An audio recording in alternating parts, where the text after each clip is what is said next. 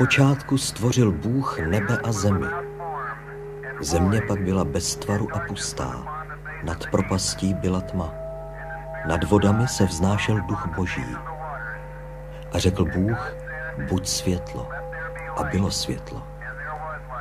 A viděl Bůh, že světlo je dobré a oddělil světlo od temnoty.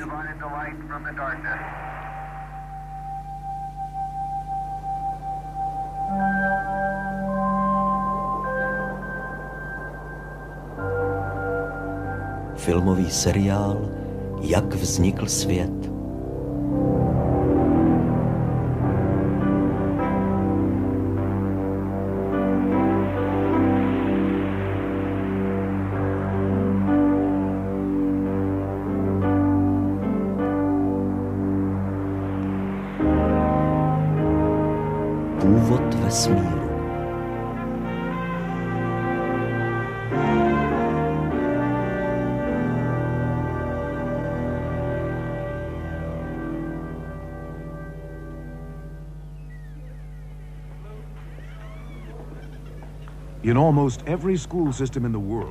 Téměř každý systém školství na světě učí lidi velikému tajemství jak vznikl svět.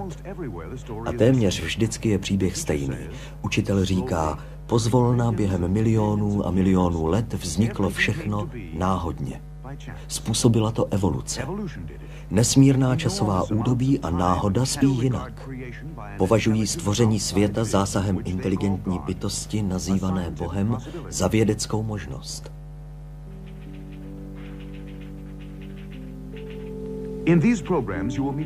V těchto programech se seznámíte s názory vynikajícího britského učence. Je jim profesor Arthur Wilder Smith, jeden z učenců, který dosáhl tří doktorátů. Publikoval přes 60 knih a vědeckých článků, a to jak v rámci polemiky stvoření proti evoluci, tak na svém vlastním vědeckém poli v oblasti biochemie.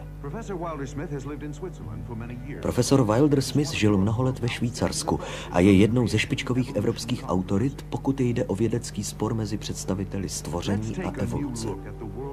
Podívejme se na svět kolem sebe jiným způsobem. Pojďme do Švýcarska s profesorem Wilder Smithem a s dalšími vysoce kvalifikovanými vědci a zkoumejme důkazy, přírodní fakta. Now there are Nuže jsou dva hlavní modely, kterých se používá k vysvětlení vzniku vesmíru, sluneční soustavy, chemických prvků a biologie i člověka. První model je znám jako model stvoření a učí, že prvky, veškerý život i člověk byli učiněni aktem boží vůle, a to ve zcela krátkém čase, což znamená, že Země je poměrně mladá. To je model stvoření.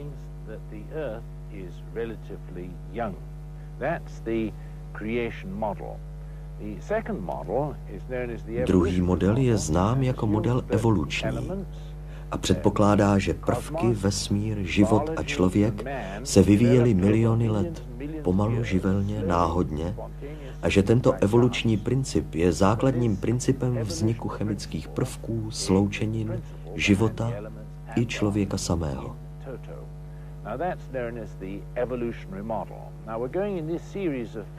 Podívejme se nyní blíže na oba tyto modely, abychom dokázali posoudit, pro který model hovoří důkazy.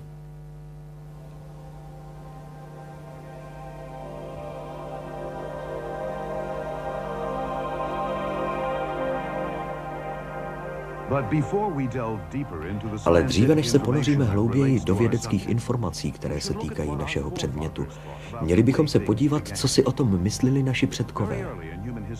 Velmi dávno v lidské historii museli slunce, měsíc a hvězdy působit na lidi mohutným dojmem. Profesor Wilder Smith říká, člověk je v základě náboženský a jestliže dostane příležitost upnout k něčemu svou náboženskou víru, udělá to.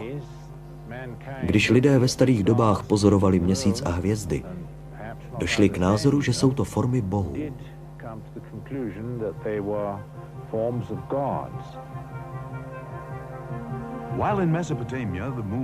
Zatímco v Mezopotámii se staly předmětem zbožňování měsíc a hvězdy, V Egyptě vládlo slunce a bylo uctíváno jako Bůh.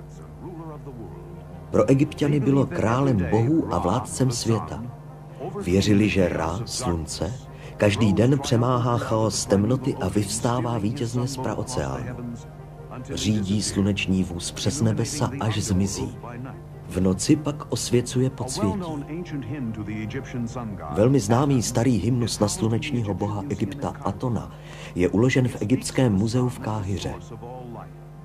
Mluví o slunci jako o zdroji veškerého života. Ty živé slunce, původce života, jak si zářící, nesmírné a jiskřící nad všemi zeměmi. Ty, které dáváš vzniknout plodu v ženě, které tvoříš semeno v muži a dáváš život dítěti v lůně jeho matky. Zcela jiný příběh podává Bible, kniha lidu izraelského, jiného starého národa středního východu. Bible říká, že je jen jeden Bůh, stvořitel nebe a země a tím také stvořitel slunce. Bůh je zdrojem světla a života a slunce, měsíc a hvězdy jsou jen nositeli světla a vyznačovateli času a ročních období. Popis, jak jej podává Bible, se zcela liší od všech ostatních výkladů vzniku světa a jak dnes věří mnozí vědci, je historicky zcela spolehlivý. Je to střízlivý popis toho, jak vznikl tento krásný svět. Starý zákon přirovnává počet hvězd k počtu zrníček písku na mořských březích.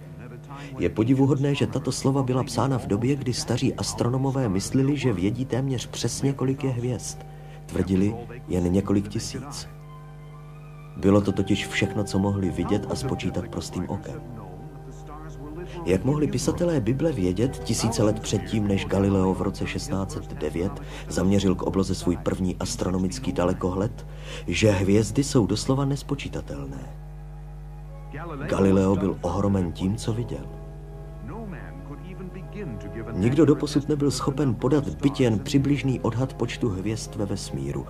A přesto tisíce let předtím Bible naznačuje, že vesmír je příliš nesmírný, než aby jej člověk mohl pochopit.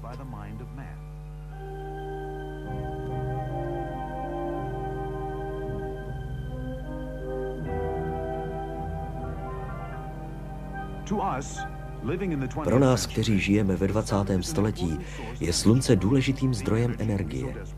Energie, kterou tak zoufale potřebujeme. V naší evoluční teorii, podobně jako staří egyptiané, činíme slunce původcem života. A tak jako staří babyloniané, mnozí věří, že poloha hvězd může rozhodovat o jejich budoucnosti. Astrologie a horoskopy hrají důležitou úlohu v životě mnohých lidí a získávají na významu. Stále více a více horoskopů dnes ovlivňuje muže a ženy. Jsme pokročilejší. Jsme moudřejší, než byly ty staré civilizace.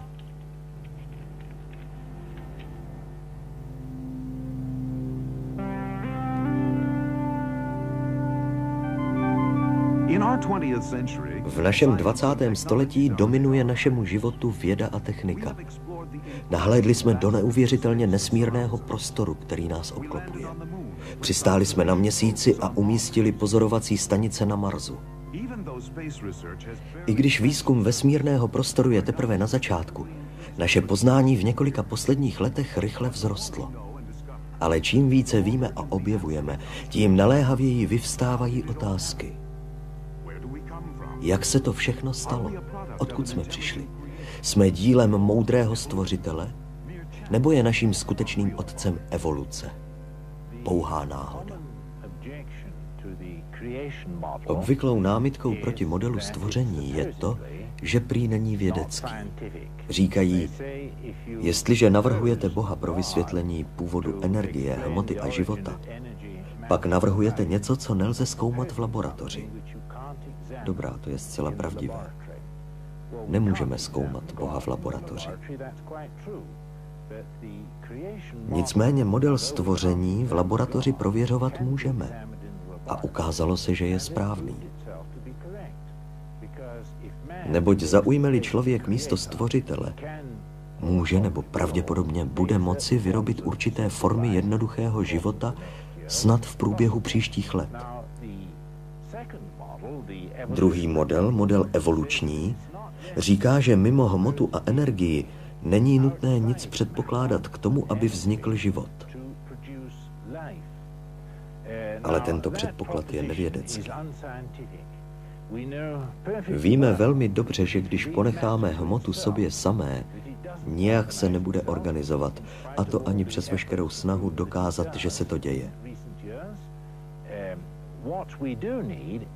To, co pokaždé potřebujeme, abychom získali život, je vložit informaci do hmoty od inteligentní bytosti, ať je to Bůh nebo člověk. Takže prostě druhý evoluční model nelze tak dobře uvést v soulad s vědeckými fakty, jak je známe, tak jako model první. Model stvoření. Proč si je profesor Wilder Smith tak jistý, že k evoluci nemohlo nikdy dojít? Odpověď je zcela jednoduchá. Vezměme si například mrakodrapy v New Yorku. Aby se dali tyto obrovské budovy postavit, potřebujete plán. Architekti a inženýři provedou složité výpočty, aby je skonstruovali tak, že v nich lidé mohou bezpečně žít i pracovat. Samozřejmě nikdo si nenamlouvá, že tyto obrovské budovy budou trvat věčně.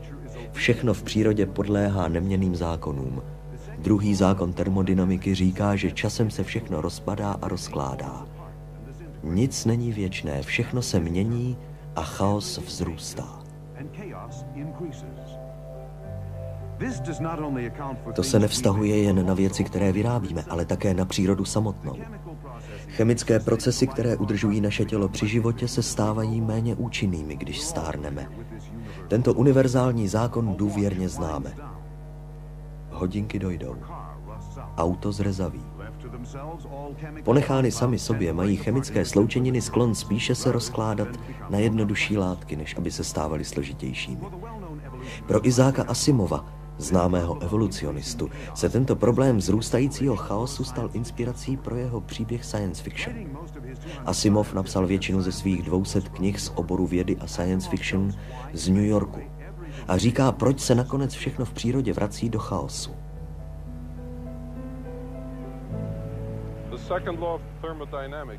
Druhý zákon termodynamiky stanoví, že množství dostupné práce, kterou můžete získat z energie vesmíru, stále klesá. Jestliže máte v jednom místě veliký objem energie s velkou intenzitou, takže máte vysokou teplotu tady a nízkou teplotu tam, pak můžete z tohoto stavu získat práci. Podle druhého zákona termodynamiky je u horkých prostorů vždy tendence, aby se ochladili a u chladných, aby se zahřáli. Takže je z toho možno získat stále méně práce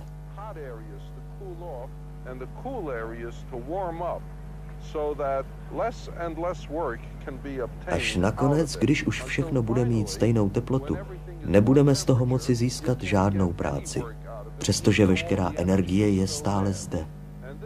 A to platí obecně pro všechno v celém vesmíru.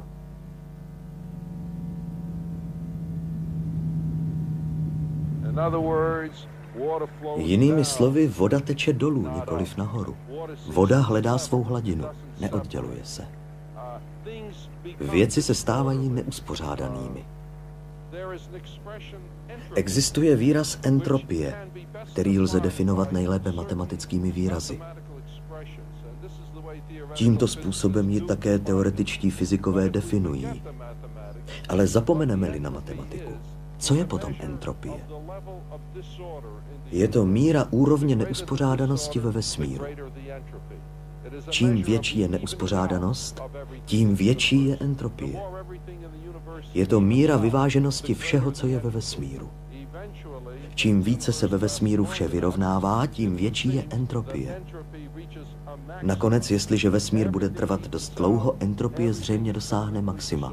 Všechno se vyrovná, všechno je zcela neuspořádané a potom už nemůže nastat žádná změna, žádná práce se nemůže konat, nic. Je to druh smrti. No Vědci neznají žádnou výjimku z tohoto zákona, ačkoliv doktor Asimov toto osobně nepřiznává. Mnoho vědců má za to, že je to velmi skutečná a vážná překážka pro teorii evoluce. Neboť evoluce vyžaduje, aby se atomy organizovaly do stále složitějších a uspořádanějších systémů. Evoluce stanoví, že po mnoho milionů let se všechno zásadně vyvíjelo vzhůru. Stávalo se více uspořádaným a složitým. Tento základní zákon vědy, druhý zákon termodynamiky, říká pravý opak. Komplexní uspořádané systémy mají skutečně sklon stávat se v průběhu času jednoduššími a více neuspořádanými. V celém vesmíru je nezvratný trend směrem dolů. Mnoho vědců poukazuje na to, že tento zákon sám o sobě, je-li mu správně porozuměno, je dostatečným k vyvrácení teorie evoluce. Ve skutečnosti je to jen jeden z nejdůležitějších argumentů, pro který mnozí evolucionisté opustili svou teorii ve prospěch myšlenky původního stvoření.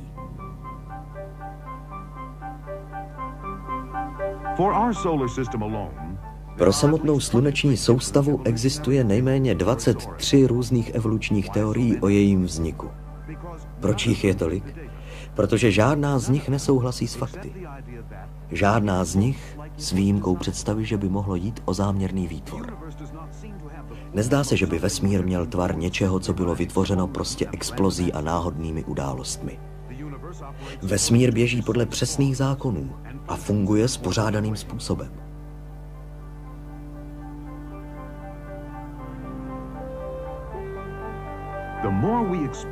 Čím více bádáme, tím více nacházíme uspořádané vzory a systémy. Stalo se to všechno náhodou?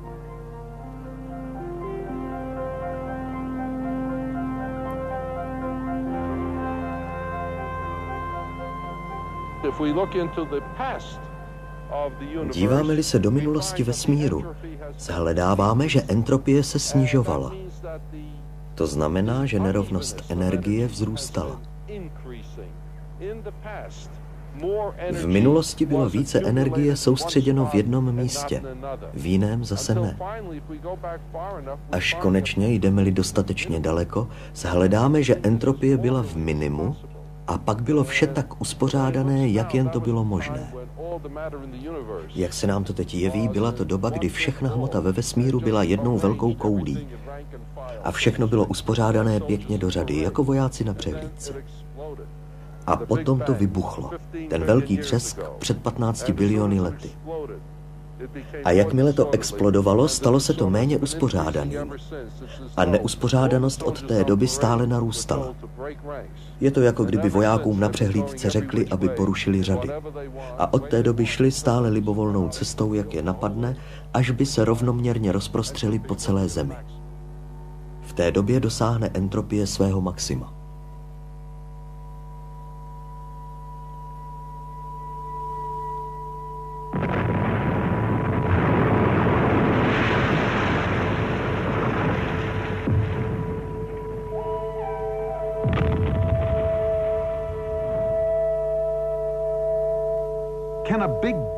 Může být velký třesk skutečně vysvětlením velmi složitého a uspořádaného vesmíru, tak jak ho známe. Astronom profesor Harold Slusher. Velký třesk, takzvaný Big Bang, je jednou z moderních kosmogonií, pokoušejících se o vysvětlení vzniku vesmíru a nebeských těles. Tvrdí, že všechna hmota a energie ve vesmíru byla v jedné době koncentrována v tom, o čem se hovoří jako o původním atomu nebo praatomu. Představa o velikosti tohoto atomu se u různých astronomů měnila. Někteří říkají, že je nekonečně veliký, jiní zase, že jeho průměr se rovnal průměru sluneční soustavy. Dnes by moderní hlediska říkala, že tento původní atom měl velikost elektronu nebo ještě menší. Tito lidé tvrdí, že celá hmota a energie byla soustředěna ve věci menší než konec špendlíkové hlavičky a že tento objekt seděl v prostoru kdo ví jak dlouho a potom se náhle vyvinula nestabilita a ta věc explodovala. A nějak se z toho vytvořily galaxie a zhluky galaxií a hvězd a nejméně jedna sluneční soustava. Když se na vesmír podíváme dnes po explozi, nikde nevidíme vznikat pořádek. Vidíme jen vznikání neuspořádanosti. Takže je přirozené, že se ptáme, Co je podkladem pro takovou myšlenku? Představa, tak říkajíc, zcela nepodobná tomu, co dnes vidíme, něco, co se nechová podle žádného rozumného modelu z těch, které vůbec známe. Nuže navrhované důkazy vycházejí z toho, o čem se hovoří jako o rozpínání vesmíru. Díváme-li se na světlo přicházející z galaxií, zdá se, že toto světlo má posun do červené strany spektra.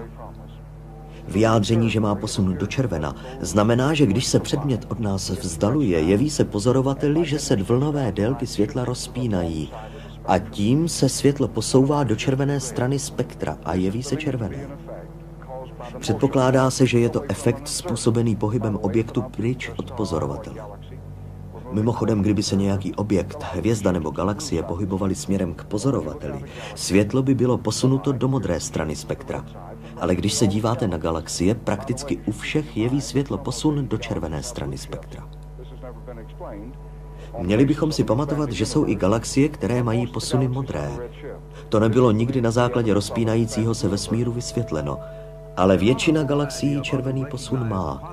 Věří se, že je to důkazem rozpínání vesmíru. Je řada jiných možných uznávaných vědeckých vysvětlení pro červený posun, která nevyžadují žádnou explozi ani rozpínání vesmíru. Například, jak předpověděl Einstein, může se světlo stát červeným v důsledku gravitace, síly přitažlivosti mezi veškerou hmotou ve vesmíru. A navíc je mnoho důvodů k vážným pochybám, že by vesmír mohl být vytvořen velkým třeskem. Podle našich veškerých zkušeností zde na Zemi nikdy neuvidíme exploze, které by daly vzniknout uspořádaným systémům. Jsem si jist, že byste považovali za zcela neuvěřitelný, fantastický, smyšlený příběh, kdybych vám vyprávěl, že jsem viděl jednu z těchto hor explodovat a z exploze té hory a prachu a plynu, že se usazovalo a vytvářelo město. Řekněme skalní město, ve kterém je mnohem víc uspořádanosti, složitosti a informace, než bylo v té samotné skalní hoře. Zdá se mi téměř nemožné z velkého třesku získat opravdový vesmír, který kolem sebe vidíme. Ne nějaký imaginární předmět, ale vesmír, ucelený, plný informací. Zdá se mi jedině možné získat vesmír s informací, hmotou a energií vytvořený. Protože vesmír nemůže povstat samovolně z ničeho, ale musí být stvořen a vložen do něj řád a složitost. Zvnějšku.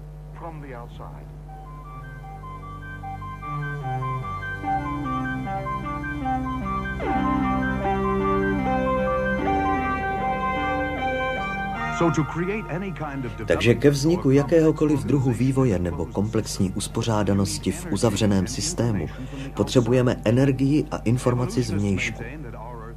Evolucionisté tvrdí, že naše Země není vůbec uzavřeným systémem, že je otevřená sluneční energii a že energie slunečních paprsků stvořila například život na naší překrásné planetě. Ale postačí k tomu energie, i když máte otevřený systém? V evoluční teorii je množství problémů, zejména z hlediska termodynamiky. Zákony termodynamiky jsou tři. Druhý zákon říká, že množství dostupné práce pro užitečnou práci v uzavřeném systému klesá.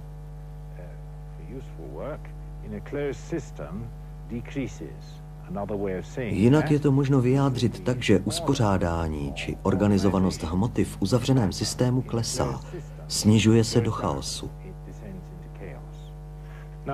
Jsou však výjimky a tyto výjimky matou. Vezměme například něco mrtvého, například klacek, který kdysi rostl a užíval sluneční energie, aby zvyšoval svoji uspořádanost.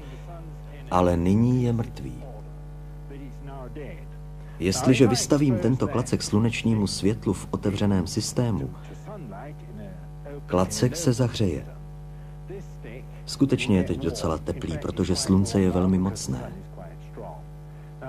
To znamená, že uspořádanost klacku klesá, jeho entropie narůstá.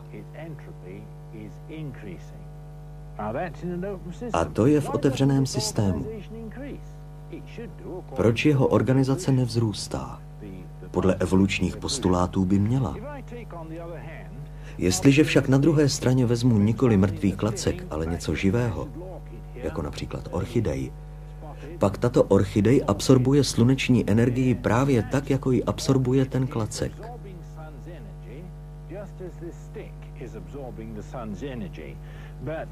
Ale energie, která na ní dopadá, je využívána složitou reakcí ke zvyšování uspořádanosti a k Dělá to chlorofil. Ale když tuto orchidej usmrtím, například kdybych ji utrhl a nechal ji zvadnout, energie slunce by na ní dopadala, orchidej by se zahřála a rovněž by došlo ke snížení její uspořádanosti. Jaký je rozdíl mezi klackem, který je teď mrtvý, a orchidejí, která je živá? Rozdíl je v tom, že orchidej má v sobě něco, co vědci nazývají teleonomií. To je stroj, který zachycuje energii, aby zvyšoval uspořádanost. Tento stroj v klacku je mrtvý a nezachycuje energii, aby snižoval neuspořádanost a zvyšoval uspořádání. V tom je ten rozdíl. Odkud se ta teleonomie vzala? Teleonomie, uspořádávající princip, nespočívá ve hmotě samotné, ale tkví v životě. A kde je život, tam je teleonomie a pak je možno brát sluneční energii a způsobovat, aby věc rostla. To jest, aby se zvyšovala její uspořádanost. Jako vědec musím vycházet z předpokladu, že je to zdroj informace, který dodává teleonomie. Jinak řečeno know-how, což znamená vědět, jak na to.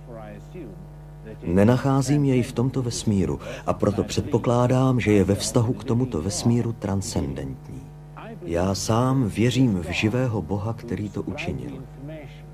Věřím, že Bůh, který dodal tuto informaci, se zjevil sám v těle člověka, aby mu člověk mohl porozumět. Jsme vytvořeni, abychom rozuměli. Jsme homo sapiens.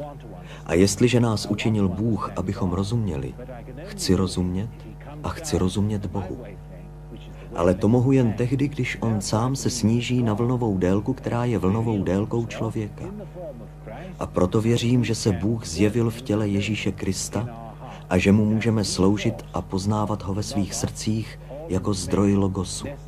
Veškeré informace potřebné k tomu, aby byl učiněn vesmír i život sám.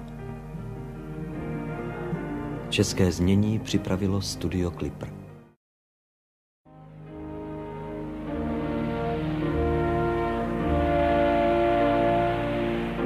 Země, mladá planeta.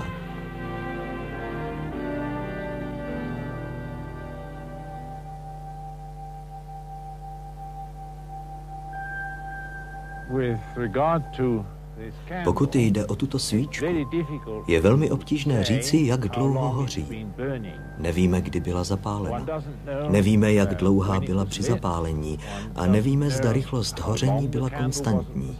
A navíc nebyla-li někdy zhasnuta a potom znovu zapálena. A proto, jestliže se teď na ní dívám, nelze říci, jak dlouho hoří.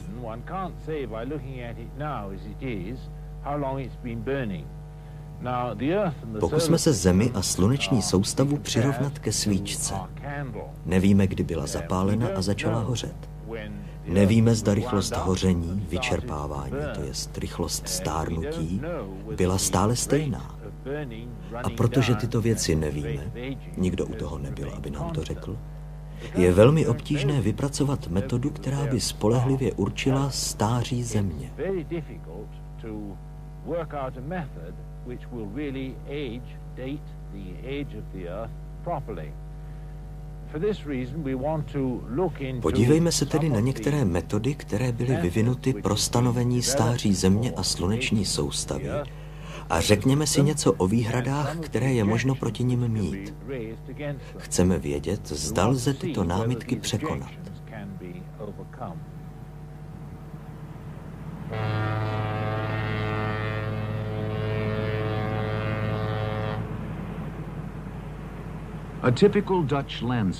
Typická holandská krajina, malebné městečko Urína. A jako všude ve světě, tak zejména v hustě obydleném Holandsku, je třeba stavět domy pro nové obyvatele. A tu učiníme objev. Při hloubení základů najdeme pozůstatky dávno zapomenuté minulosti. Pečlivě se schromažďují k dalšímu výzkumu. A vyvstane první otázka. Z jaké doby ty předměty pocházejí? Našli jsme starou římskou osadu, nebo snad středověkou vesnici.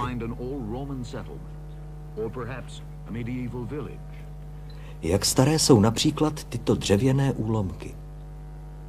Laboratoř pro dataci archeologických nálezů na univerzitě v Groningenu se to pokusí zjistit a použije pro ten účel radioaktivní datovací metodu Carbon 14.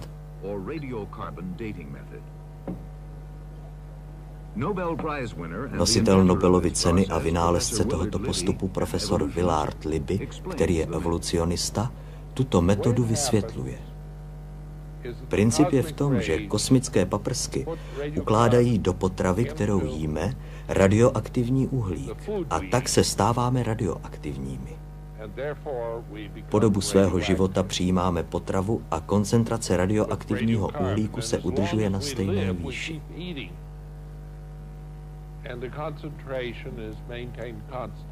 Ale jednou zemřeme. Přestaneme přijímat potravu a naše tělo začíná ztrácet radioaktivní uhlík. A to jednu jeho polovinu za 5730 let. Takže měřením množství radioaktivního uhlíku v mrtvém těle mohu říci, jak dlouho je toto tělo mrtvé. A to je princip radioaktivního datování.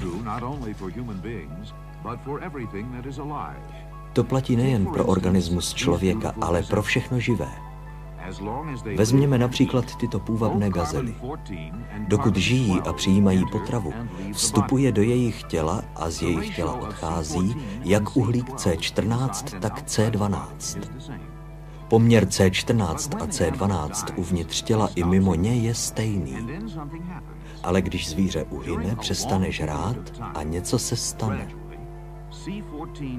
Během dlouhé doby se postupně C14 rozkládá na dusík a opouští tělo. Po 5370 letech zbývá jen polovina původního množství C14. Proto říkáme, že poločas rozpadů C14 je 5370 let. Technicky to probíhá takto. Po důkladném očištění se vzorek vloží do křemíkové pece, kde můžeme dosáhnout vysokých teplot. Tam se dřevo dokonale spálí, aby byly izolovány plyny. Mezi nimi je samozřejmě radioaktivní uhlík C14. Po spálení jsou plyny složitým systémem trubek a tekutin filtrovány, aby byl oddělen od ostatních plynů kysličník uhličitý. Očištěný plyn se pak sbírá a zkoumá Geigerovým počítačem.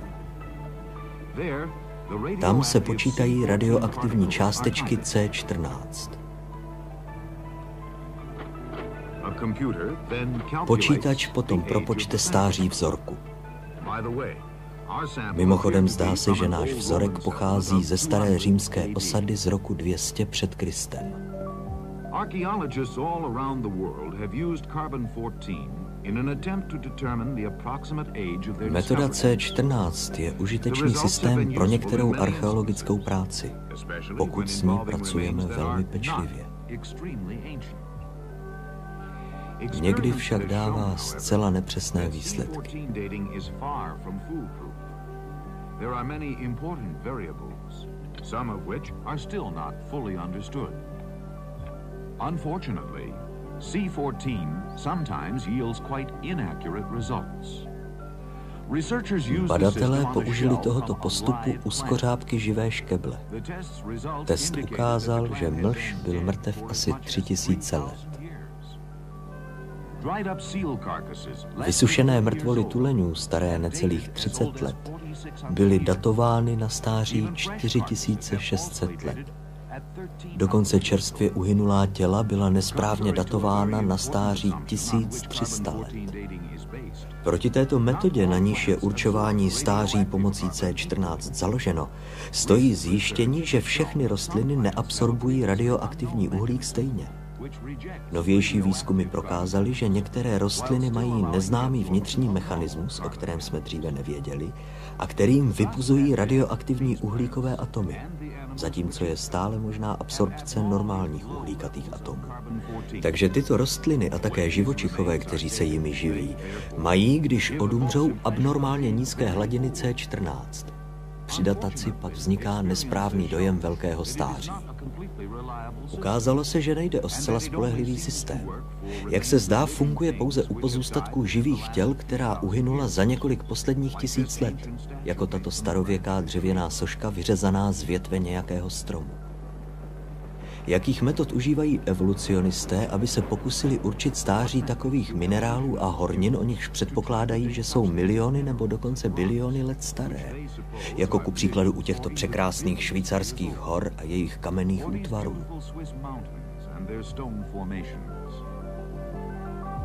Besides the C14 method of Vedle metody radioaktivní datace pomocí C14 existují samozřejmě i jiné metody radioaktivní datace.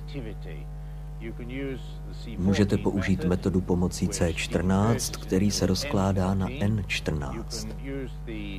Nebo metodu draslíko-argonovou. Draslík se rozkládá na argon. A můžete také použít metodu uran-olovo. Toto jsou tři hlavní metody radioaktivního určování stáří.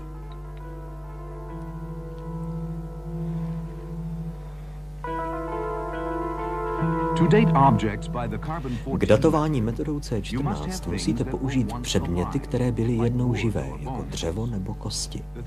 Ty tři ostatní metody, o nich se zmiňuje profesor Wilder Smith, se používají při určování stáří neorganického mrtvého materiálu, jako kamenů a hornin. Avšak princip zůstává stejný.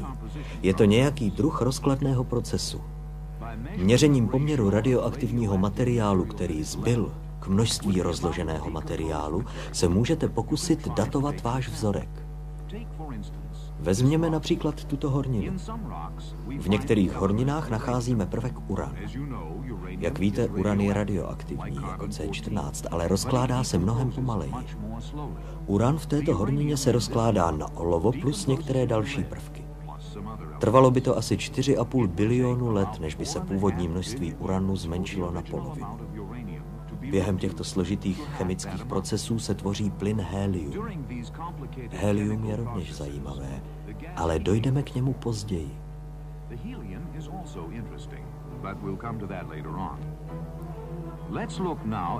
Podívejme se nyní na postup, který není tak vysoce vědecký, ale je velmi zajímavý, protože ukazuje na tři základní předpoklady všech metod radioaktivní datace.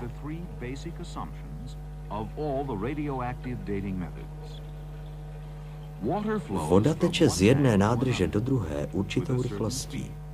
Domnívali byste se, že změřením hladiny vody v obou nádržích a porovnáním jedné ke druhé byste přesně určili, jak dlouho voda tekla. Zejména znáte-li současnou rychlost toku. Zdá se to být logické a na první pohled by nikdo neměl mít námitky proti výsledku vašeho experimentu. Ale vycházíte přitom ze tří předpokladů. Předpoklad první, prázdná nádrž.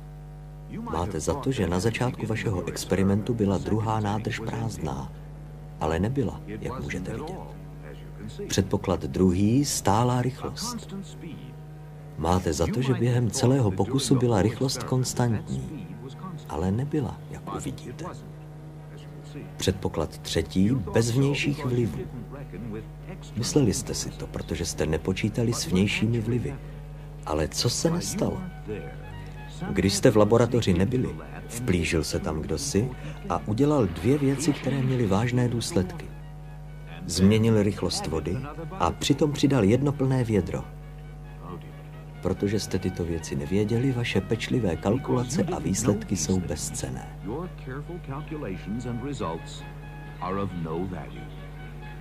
The present flow time is shorter than you thought. Všechny radioaktivní metody trpí mnohými slabinami. Za prvé, člověk nikdy neví, kolik radioaktivní substance bylo na počátku.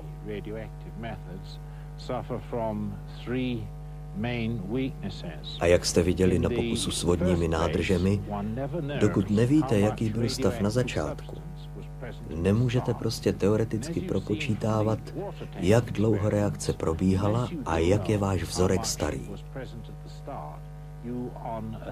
To je první potíž všech těchto metod. Druhou potíží je, jak jste viděli na pokusu s vodními nádržemi, že rychlost radioaktivního rozpadu musí zůstat konstantní. Jestliže se změní, pak samozřejmě nemůžete vypočítat žádné stáří. No a my máme důkazy o tom, že rychlost radioaktivního rozpadu se může měnit.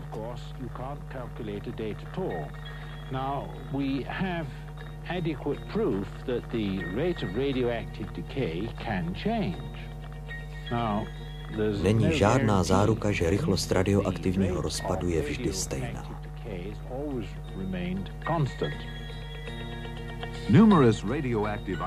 Četné radioaktivní izotopy vykázaly odchylky ve svých rozpadových rychlostech.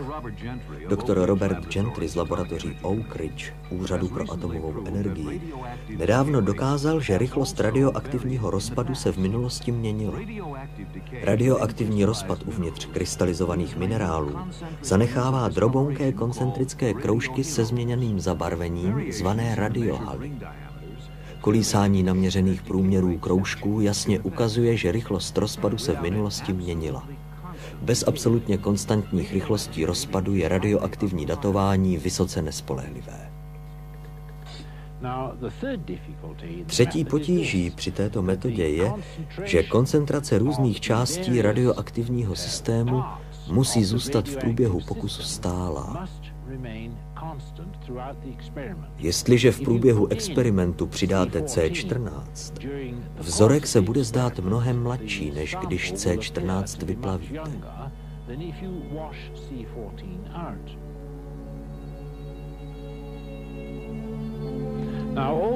Všechny tyto faktory činí radioaktivní datování nejistým. Existují však jiné metody nezávislé na radioaktivním rozpadu, které lze pro určování stáří použít.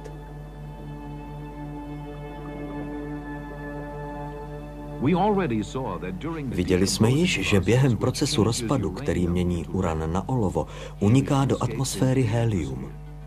Doktor Melvin Cook ze Salt Lake City, dřívější kandidát Nobelovy ceny, tento plyn helium studoval. Helium je zajímavá věc. V atmosféře je ho asi milion bilionů gramů.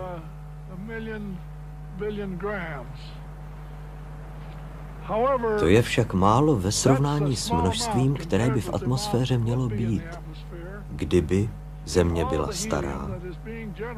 A kdyby se všechno helium, které na Zemi vzniká a vylučuje se z povrchu kůry zemské, mělo v atmosféře akumulovat. Evolucionisté tvrdí, že Země je stará 4,5 bilionu let. Není ale možné, aby helium z atmosféry uniklo. Je dále skutečností, že ještě více helia vstupuje do naší atmosféry ze Slunce. Takže kdyby Země byla skutečně stará 4,5 bilionu let, naše atmosféra by byla nasycena heliem. Ale není. Množství helia, které naměříme, je jenom zlomkem oproti tomu, které evolucionisté předpokládají. Nuže otázka zní, kde je helium?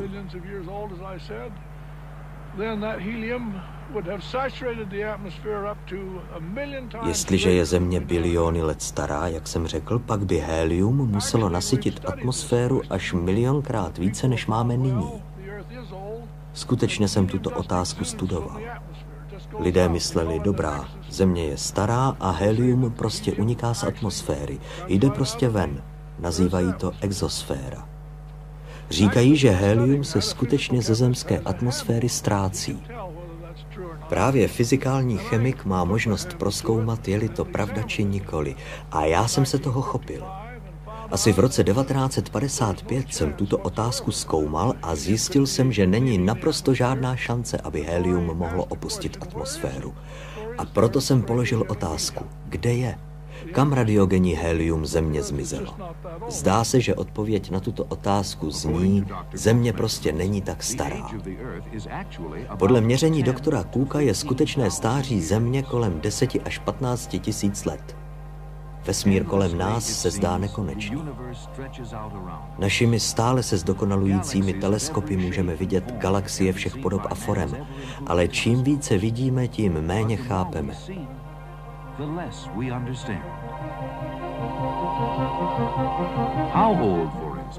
Jak je starý například vesmír? Nikdo to nemůže přesvědčivě říci, ale astronom profesor Harold Slasher z El Pasa v Texasu Říká, že je řada důvodů předpokládat, že vesmír je poměrně mladý. Ale držme se stáří naší planety Země a podívejme se, co tomu říká astronomie. Mnohem snažší je určit stáří sluneční soustavy a země, protože máme ohromné množství údajů, věci jsou blíže po ruce, takže můžeme říci, jak se mi to alespoň jeví, že pro astronoma je tu množství průkazností, které ukazují na to, že stáří země a sluneční soustavy není větší než maximálně 10 tisíc let. Bral bych to jako maximum, a to z řady důvodů.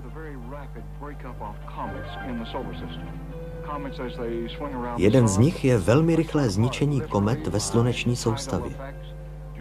Komety letící kolem Slunce jsou doslova roztrhány na kusy přílivovými efekty v důsledku gravitační přitažlivosti Jupiterových planet a Slunce. A pak je tu sluneční vítr vanoucí obrovskou rychlostí od slunce, řádově až 965 km za sekundu, který doslova kometu omete do čista. A potom jsou tu velmi zvláštní věci, které se kometám přihodí, jako výbuchy a jádra komet. Ty roztrhají kometu velmi rychle a zdá se, že maximální životnost komet s krátkou periodou je na nejvýš 10 tisíc let. A je více než pravděpodobné, že je dokonce ještě o něco menší. Většina astronomů se domnívá, že komety vznikly ve stejné době jako sluneční soustava. Takže jestliže určíte stáří komet s krátkou periodou, máte automaticky stáří sluneční soustavy, která nemůže mít více než 10 tisíc let.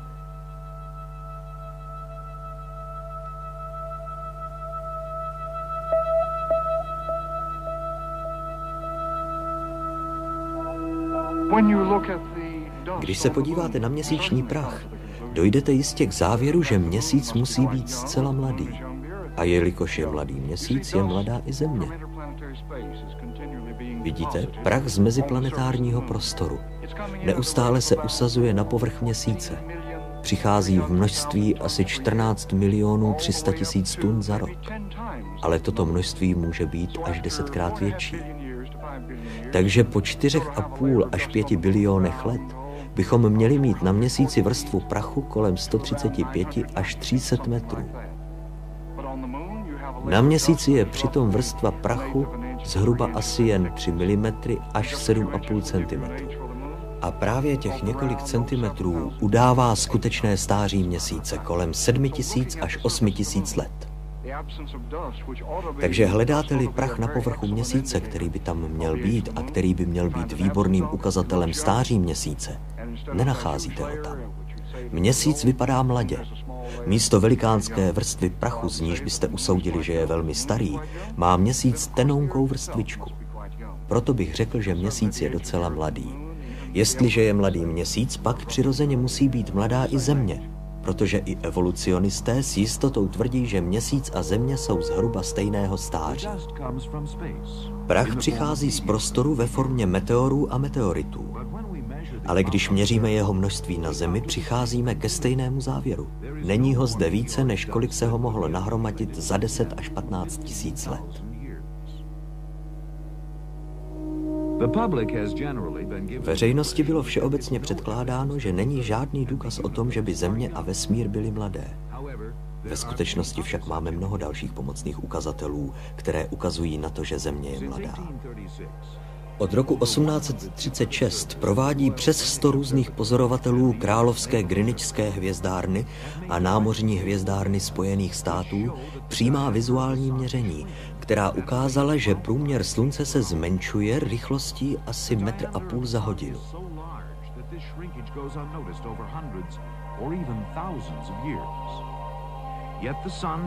Průměr Slunce je tak velký, že tohoto zmenšení si po staletí nebo dokonce tisíciletí nikdo nevšiml. Ale Slunce pokračuje ve smršťování. Záznamy ze zatmění slunce dokládají, že nejméně posledních 400 let toto poměrně rychlé smršťování pokračovalo. Pokud to mohou badatelé říci, byla tato rychlost od původního sformování slunce konstantní.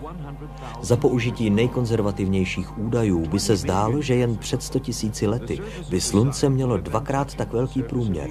Před 20 miliony let by se povrch slunce musel dotýkat povrchu země. Někteří odborníci usoudili, že kdyby slunce bylo tak velké, na naší planetě by nemohl existovat žádný život. Ani před milionem let. Mám za to, že když všechny tyto efekty sečteme, musíme dojít k závěru, že sluneční soustava a Země nejsou starší než 10 tisíc let. Domnívám se, že všechny tyto předměty jsou v podstatě stejného stáří.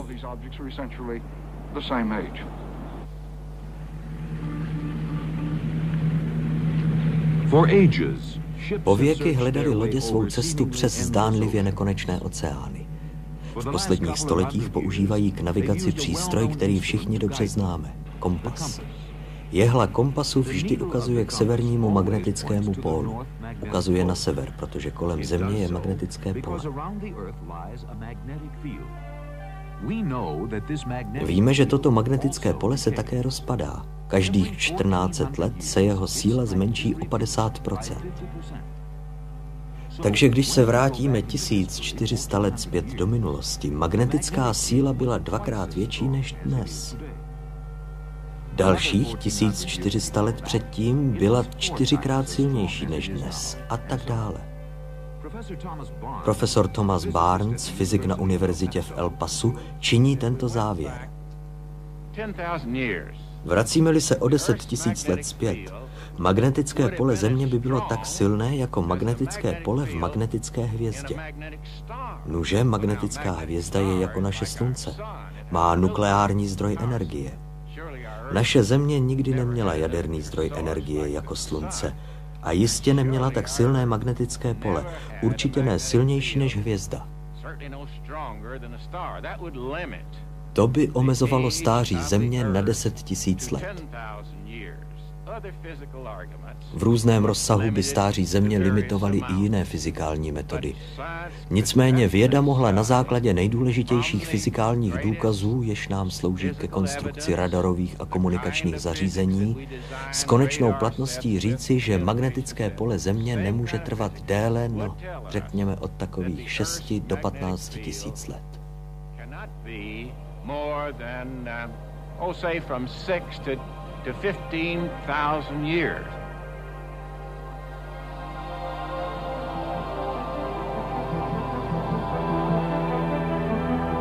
The Earth.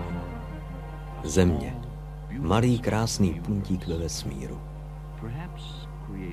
Možná stvořená před nepříliš dlouhou dobou. Ale co nás učí datovací metody?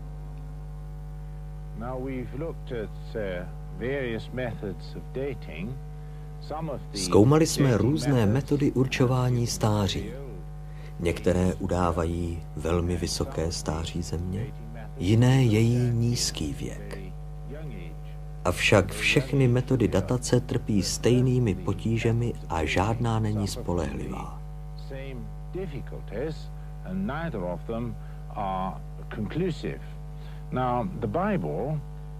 Bible nás učí dosti důrazně, že stáří země není příliš velké a že ke stvoření došlo v nepříliš dávné minulosti. V posledních letech byla vypracována nová metoda datace založená na radioaktivitě, známá jako Halo metoda. Vypracoval ji Robert Gentry. I tato metoda v protikladu k jiným ukazuje na to, že Země je docela mladá.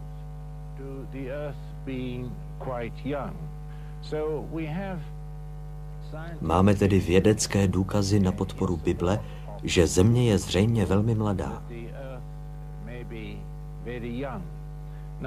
Jestliže je tomu tak, a jestliže se to potvrdí, nechceme být v tomto bodě netolerantní, pak samozřejmě ta dlouhá časová období, která jsou naprosto nezbytná pro evoluci, prostě neexistují. A jestliže neexistují, pak je ovšem celá evoluční teorie problematická. Protože není myslitelné, aby k vytvoření člověka došlo v tak krátkém čase náhodou. Ke svému evolučnímu vzniku totiž potřebuje ona dlouhá časová údobí. Bible učí, že Země je velmi mladá. Je-li mladá, pak jsme ovšem naprosto závislí na stvoření, na účasti věčného Boha, který toto dílo učinil tak, jak bylo nutné, aby toto vše mohlo vzniknout tak, jak to dnes vidíme.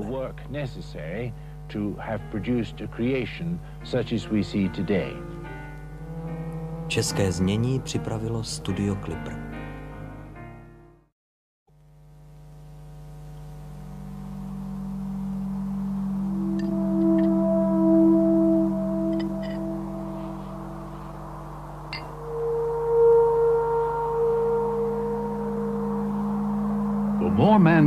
Čím více zkoumá lidstvo tajemství života, tím naléhavěji vyvstává otázka jeho původu. Vyvinul se všechen život postupně z nějakého jednobuněčného tvora?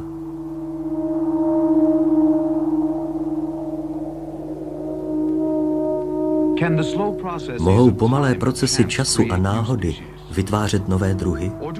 Nebo hovoří vědecká fakta spíše pro stvoření různých základních druhů rostlin a zvířat svrchovaným konstruktérem, který je utvořil tak, aby se množili podle svých vlastních druhů? Ovšem se zabudovaným genetickým potenciálem rozsáhlé proměnlivosti skrze selektivní množení v rámci každého druhu. Měli bychom historii živých tvorů představovat jednoduchým evolučním stromem, který ukazuje jednoho jediného společného předka všeho života? Nebo lesem stromů, z nichž každý je představitelem odlišného původního druhu a každý s potenciálem vysoké variability? Studio Clipper a Česká televize Ostrava uvádějí seriál Jak vznikl svět.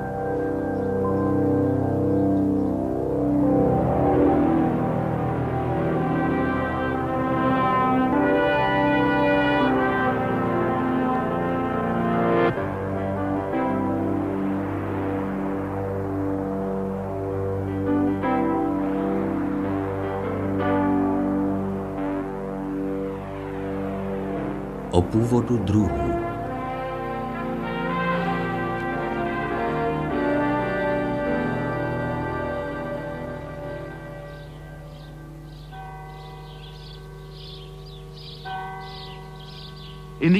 V anglickém hrabství Kentu leží jedna ospalá vesnička jménem Down.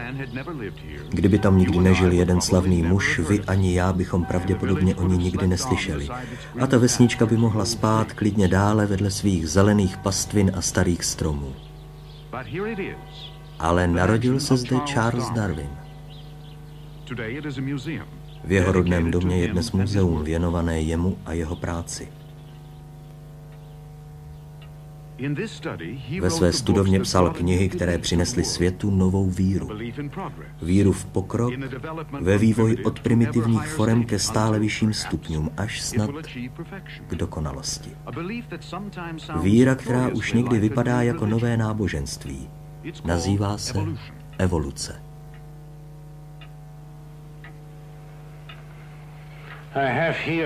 Mám zde první vydání knihy Charlesa Darwina o původu druhů, která vyšla v roce 1859.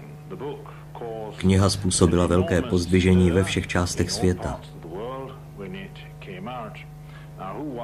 Nuže, kdo byl Charles Darwin? Charles Darwin byl anglický gentleman.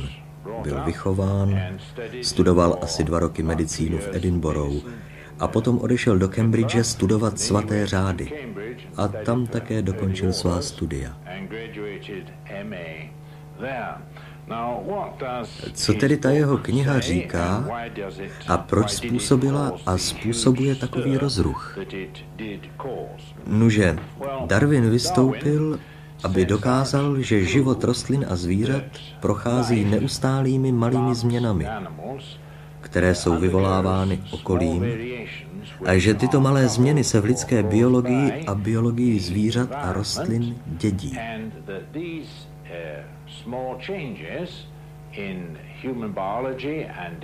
animal and plant biology are inherited.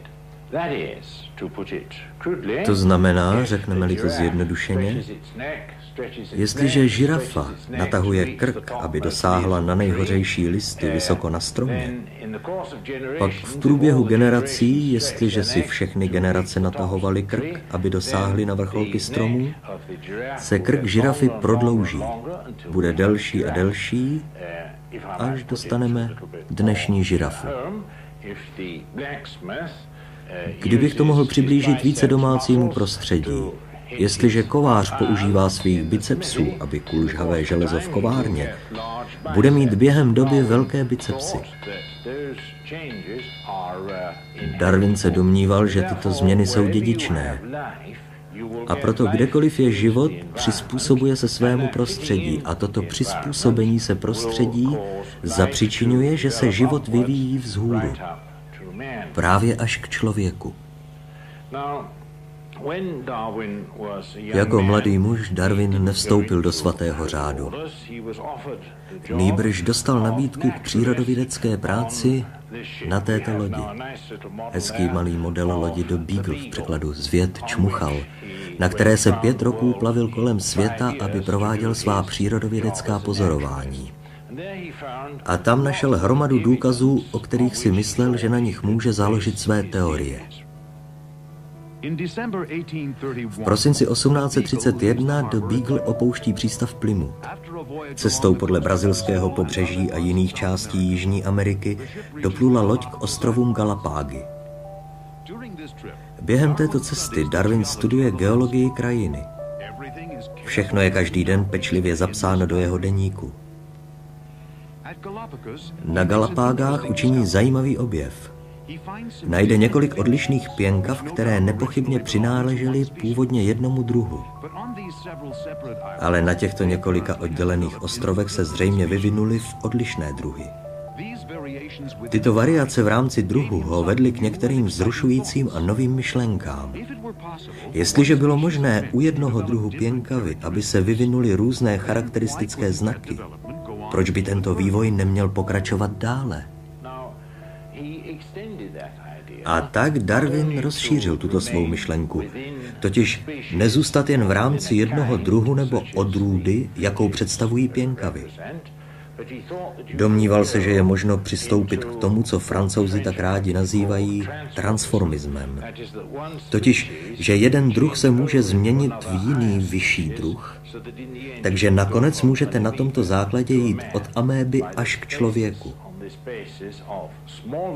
Tedy na základě malých odchylek, které jsou dědičné a proběhly tak, že dostaneme postupnou evoluci po mnoho let.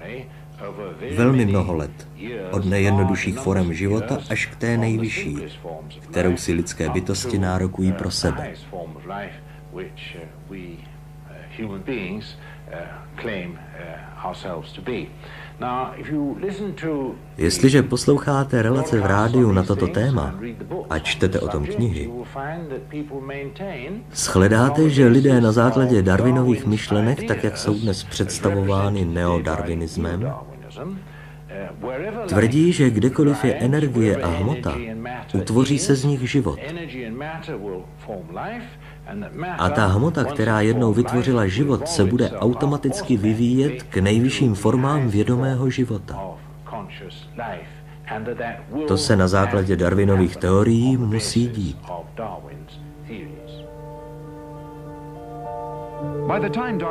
Zatímco Darwin v roce 1882 umírá a je pohřben ve Westminsterském opatství, jeho myšlenka evoluce se rozšířila po celém světě. V jiné části Evropy, v Brně, dnešním Československu, se setkáváme s jiným duchovním, který se také zajímá o biologii. Od roku 1886 provádí jeden mnich v augustiniánském klášteře v Brně některé podivné experimenty. Jeho jméno je Gregor Mendel. Gregor Mendel, ačkoliv to byl mnich, byl prvním mužem, který postavil vědu o dědičnosti na zdravý matematický základ. Jak je dobře známo, pracoval se zahradním hrachem různých barev a ukázal, že rozdělení klonů a variace v klonech dokonale odpovídají dobře definovaným matematickým zákonům. Kdyby jeho práce nebyla až do přelomu století prakticky na 50 let zapomenuta, byla publikována samozřejmě v málo známém vědeckém časopise a nikdo si ji nepovšiml. Kdyby tedy jeho práce na matematickém vyjádření dědičnosti byla bývala známa, ušetřili bychom si nesmírné množství spekulací, které později nad původem druhů vznikly. Klášter se za Mendlových časů nacházel na rakouském území a Brno se tehdy nazývalo Brun. Zde na malém kousku půdy pěstoval svůj zahradní hrách. Po devíti letech v roce 1865 Mendel triumfálně oznámil svůj vzrušující objev. Na základě pokusů s hrachem si byl naprosto jist, že lze matematicky předvídat, jak budou následující generace dědit různé vlastnosti. Dědičné vlastnosti nezmizí, a to ani při křížení s různými variacemi. Budou se vyskytovat znovu a znovu, a je možné předpovědět, kdy se vyskytnou a dokonce jak. Na vědeckou společnost té doby to neudělalo žádný dojem. A tak Mendel zemřel v roce 1884 bez velkého uznání. Co tedy vlastně slavné Mendelovy zákony dědičnosti jsou? Vezměme si červenou květinu a žlutou.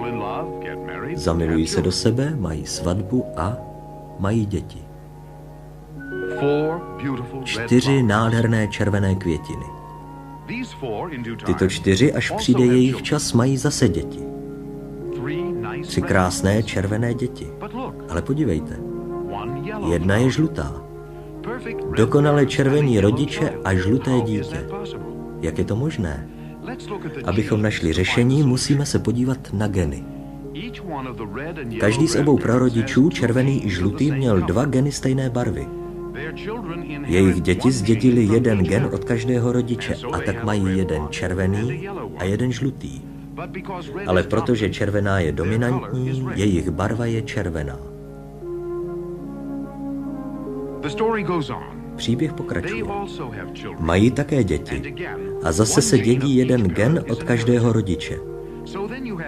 Takže máme kompletní červený pár, dva páry smíšené a kompletní žlutý pár genů. A čistě žlutou květinu.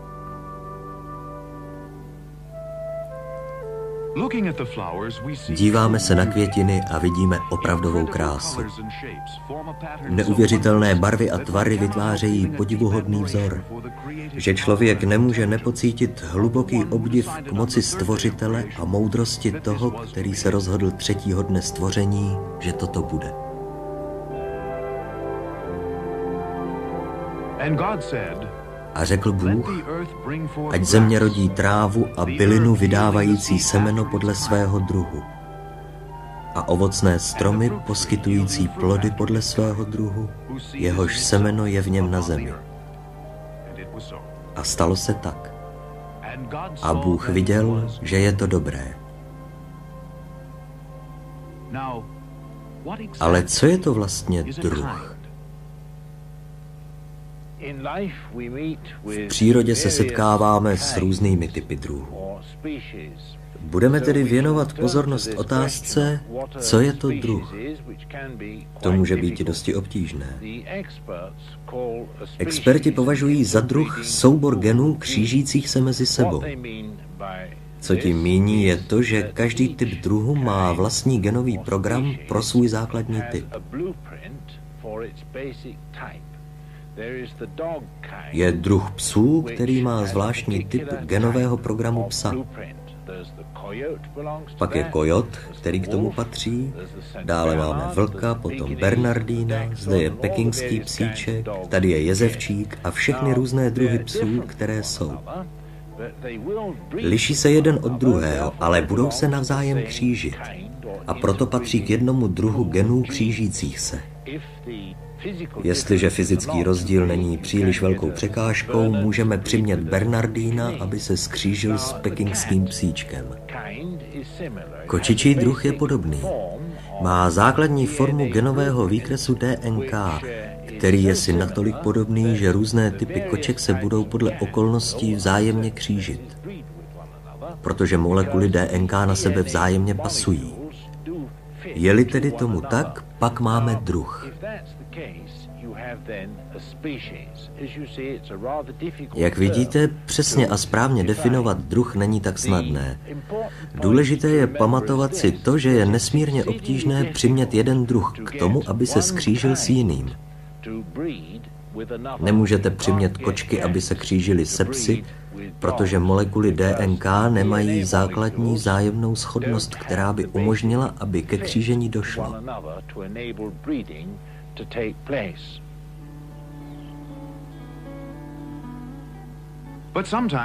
Někdy se však něco stane v molekulách DNK a v chromozomech.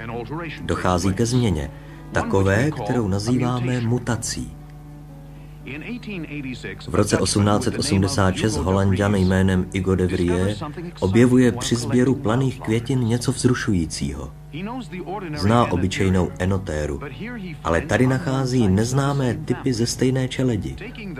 Vezme je domů a pěstuje je. Získává úplně nové typy. A v letech 1901 a 1903 své výsledky publikuje pod titulkem Teorie mutací. V těchto letech upoutali pozornost veřejnosti výsledky Mendelovy práce a zdálo se, že činí Darwinovu teorii postupného vývoje nemožnou. Kouzelnou hůlkou v neodarwinismu, kterou bylo možno překonat pevnou bariéru mezi různými druhy, se náhle staly mutace.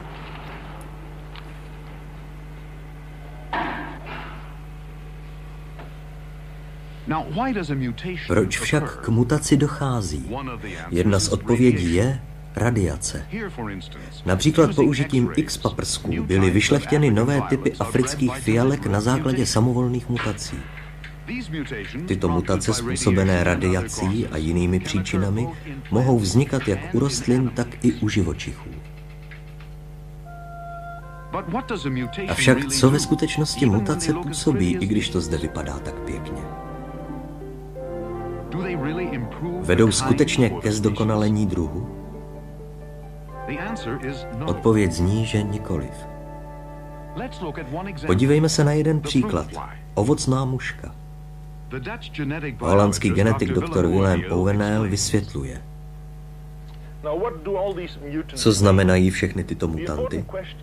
Důležitou otázkou pro zastánce evoluce vždy bylo, dáli se prokázat, že mutace hrají nějakou roli v předpokládané evoluci. Pravděpodobně totiž známe pouze dva mechanismy pro domělou evoluci. Je to mutace a přirozený výběr. Proces probíhající v přírodě, pomocí něhož se provádí z těchto mutací výběr. Nuže, co z toho je pravda podle solidních faktů genetiky?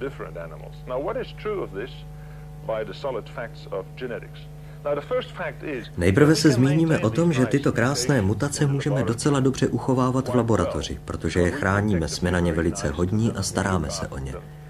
Avšak v přírodě by tato ubohá zvířátka snadno zemřela, protože je všechny tyto mutace poškodily. Jsou velmi škodlivé, silně omezují jejich variabilitu a často jsou prostě přímo smrtelné. Mutace jsou tedy škodlivé. Jsou pro nás velice zajímavé, velice užitečné, protože na jejich základě můžeme na zvířatech studovat množství genetických zákonů. Jsou však velmi neobvyklé a pro zvíře velmi škodlivé.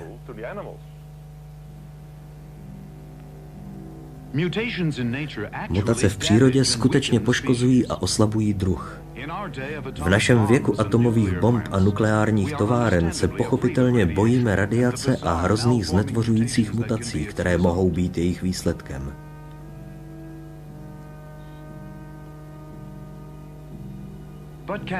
Avšak nemohl by přirozený výběr na pomoci tím, že by upřednostňoval malé pozitivní mutace a pomáhal tak, aby se vyvinuli v nový a silnější druh? Co ve skutečnosti přirozený výběr dělá? Vezměme si několik příkladů. Dejme tomu, že máme organismus, který projde určitým počtem mutací a 95% z nich je negativních, takže jsou pro organismus překážkou.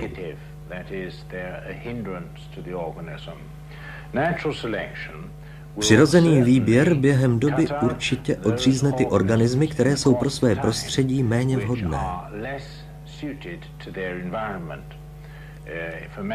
Jestliže člověk dostane například cukrovku, protože ve svých genech ztratil nějakou informaci, což způsobuje mutace, pak bude méně schopný v soutěži s jinými lidmi, kteří jsou zdraví. A to též platí v celé živočišné říši. Takže zde máme zcela určitě prostředek, který zabezpečuje ochranu populací a celých druhů, aby nedocházelo k jejich zhoršování odvrací je od degenerace. Ale podívejme se teď na věc z druhé stránky.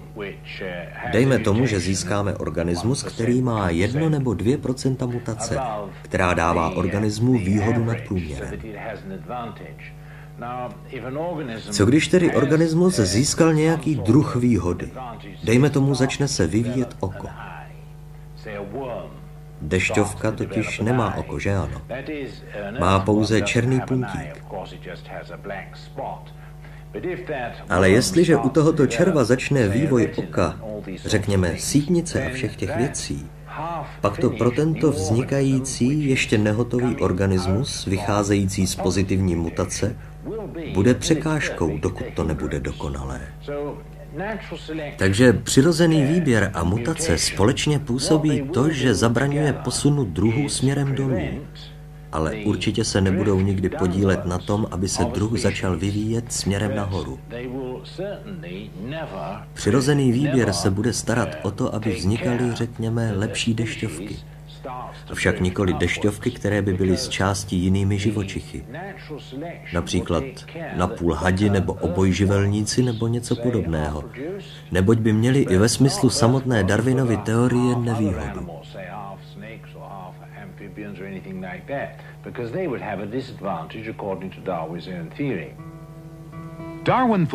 Darwin se domníval, že přirozený výběr, boj o život a přežití nejschopnějších vedou k pomalé, avšak neodvratné evoluci od jednoho druhu ke druhému. Z mrtvé hmoty k primitivním formám života. Od primitivních forem života ke složitým, od a měňavek celou tu cestu až k primátům a člověku. Avšak Darwin se zcela určitě mýlil. Sám přirozený výběr tomu brání.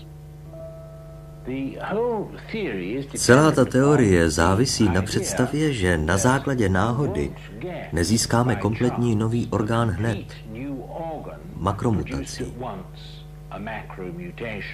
Ale bude docházet k malým změnám. Tyto malé změny směrem k něčemu lepšímu budou pro daný druh nevýhodou, leda, že by šlo o změnu kompletní. A protože tyto změny nikdy nejsou kompletní, přirozený výběr nám stejně tak účinně zabraňuje posunu směrem nahoru jako směrem dolů.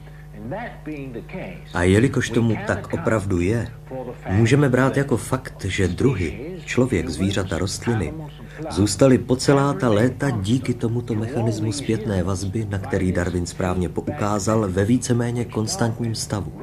V podstatě se nezměnili. To, co neviděl, bylo to, že přirozený výběr brání posunu, pomalému posunu nejen směrem dolů, ale stejně účinně i směrem nahoru.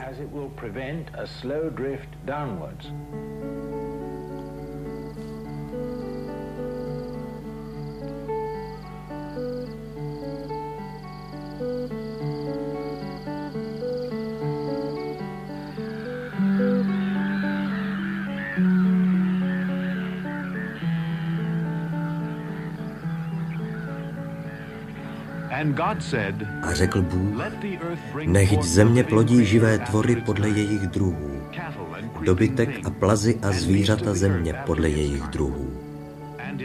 A stalo se tak.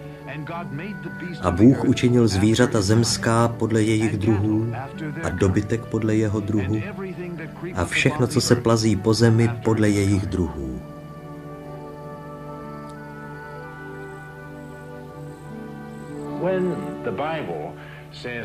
Když v Bibli čteme, že Bůh stvořil zvířata, člověka i rostliny podle jejich druhů, aby se podle nich množili, stojíme tu před zásadní vědeckou pravdou, která platí dnes právě tak, jako v době, kdy ji zapsal Mojžíš.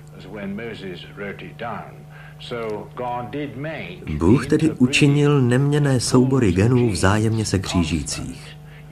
V jejich rámci může docházet ke změnám, ale nemůžeme překročit hranice těchto souborů genů křížících se jen navzájem. Můžeme zde působit změny, avšak nikoli mimo jejich rámec.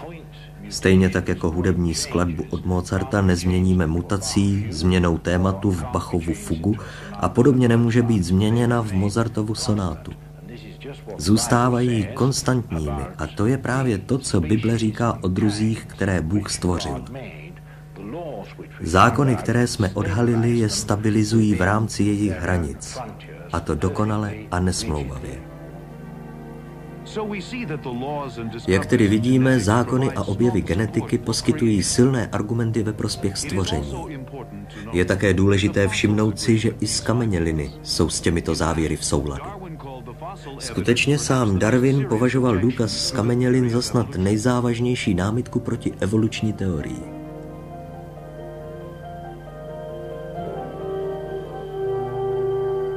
Dr. Gary Parker Doktor Gary Parker je jeden z řady nadšených evolucionistů, kteří později změnili svůj názor a stali se po hlubším studiu těchto věcí přesvědčenými kreacionisty.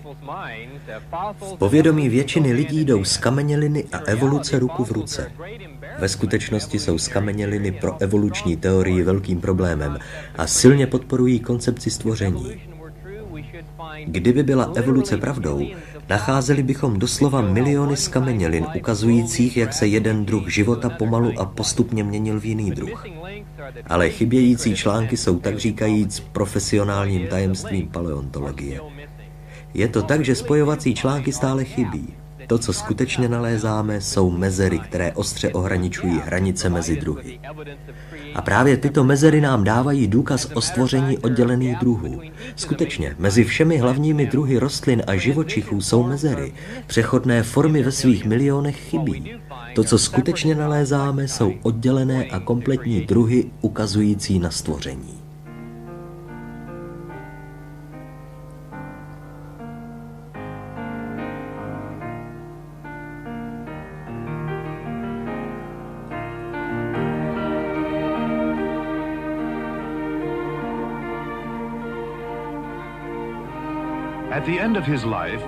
Na sklonku svého života byl Darwin stále ještě plný pochybností a stísněnosti nad svou teorií, stále v údivu nad velkými otázkami života. A tak zemřel, aby se konečně setkal se svým stvořitelem. Tím, který řekl, vydejte vody hmyz duše živé v hojnosti a ptactvo, kteréž by létalo nad zemí pod oblohou nebeskou.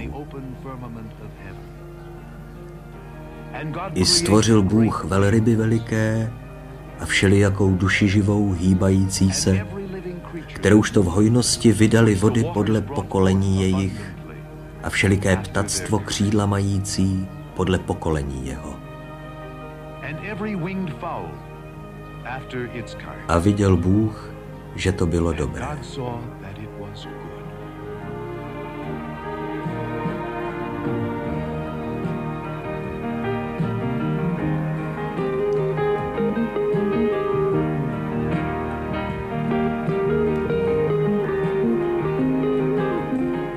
České znění připravilo pro českou televizi Studio Clipper.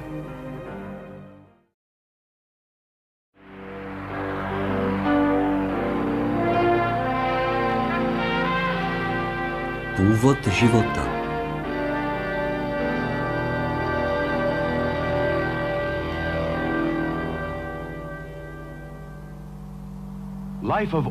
Na naší planetě existuje mnohotvárný život.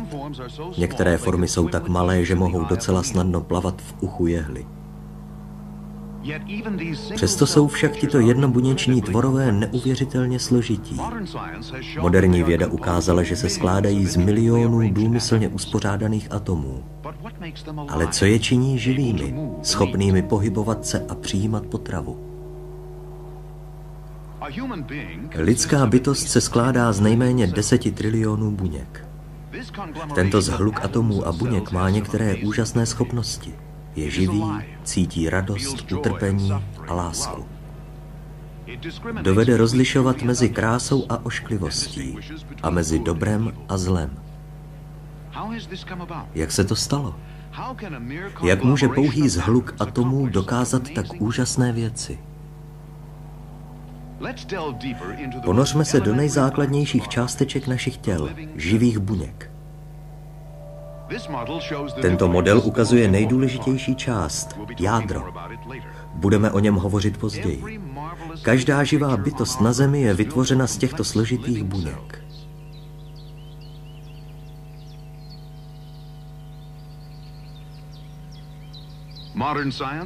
Moderní věda odkryla některé z jejich úžasných vnitřních pochodů. Můžeme nyní pozorovat proces rozdělení jedné buňky na dvě.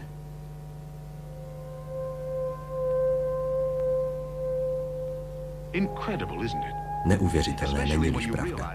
Zvláště když si uvědomíme, že buňka je sestavena z mrtvých molekul a atomů. Co je oživuje? Co je to vlastně život? Co je život? Jeho nositelem je hmota a ta musí být vysoce organizována.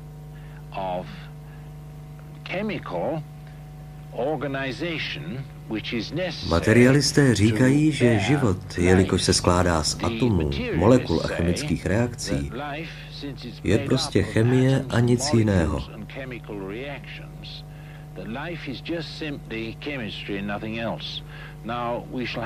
Nyní budeme věnovat této otázce velkou pozornost, neboť je jisté, že život opravdu probíhá prostřednictvím chemických reakcí.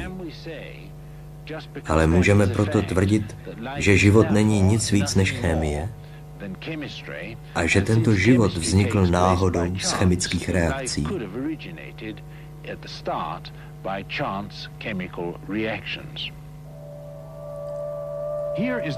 Zde je jádro tajemství života, živá buňka.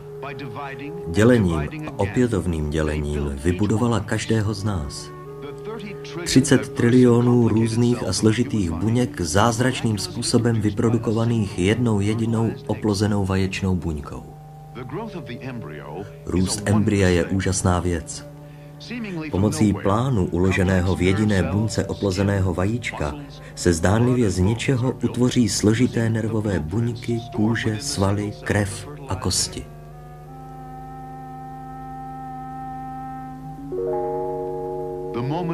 Okamžik zrodu nastává. Ve vzájemné integraci fantasticky složitý sled událostí. Každá dokonale načasována, aby dala vzniknout nejvelkolepějšímu dílu ze všech.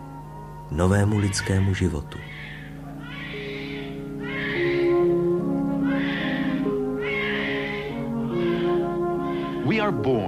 Rodíme se neuvěřitelně složití, technicky přesní, zázrak života, soustrojí, které roste.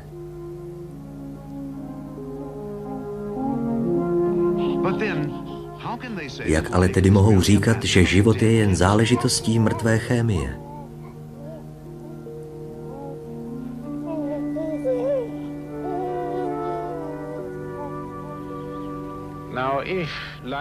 Nože jestliže život je chemie a nic víc než chemie, pak jeho potenciální možnosti pochopíme nejlépe tak, když se podíváme na některé chemické substance života. A pak nám bude jasné, že to není jen chemie. Snad nejdůležitější, snad vůbec nejdůležitější chemickou substancí v buňce je molekula DNK. Molekula DNK je velmi dlouhá molekula a obsahuje veškerou informaci, která činí život tím, čím je. Určuje, jakou máš barvu pleti, zda si krokodýl nebo karfiol. Určuje, zda si měňavka nebo opice, druh a jeho charakteristické znaky.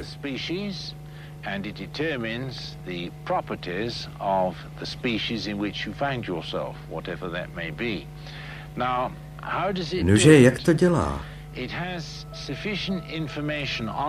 Má dostatečnou informaci k tomu, aby chemickými informacemi vyplnila tisíc knih o pětistech stranách nejmenšího tisku o tom, jak tě udělat a jak tě zachovávat.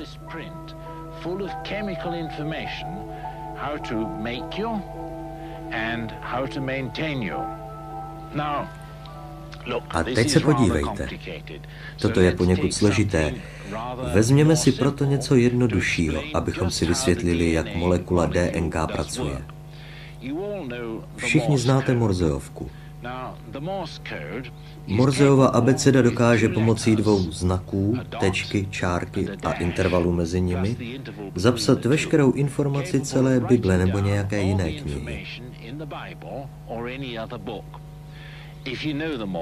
Vezměme si jako příklad v Morzeově abecedě jednoduchou zprávu jako SOS. Tečka, tečka, tečka, čárka, čárka, čárka, tečka, tečka, tečka. A máme tu celou zprávu člověka, který je v nebezpečí. Genetický kód, chromozomy a molekuly DNK používají prakticky metodu ukládání informací. Tady mám pro vás. Udělal jsem zde tečka, tečka, tečka, čárka, čárka, čárka, tečka, tečka, tečka. Podržím ho před vámi a každý z vás, kdo zná Morzeovu abecedu, řekne aha. Pokouší se sdělit mi, že je v tísni. SOS.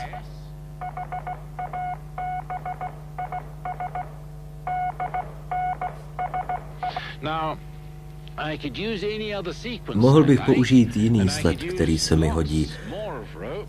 A mohl bych použít daleko více provazů, abych zaznamenal další sledy, jako například 23. žalm. Hospodin je můj pastýř.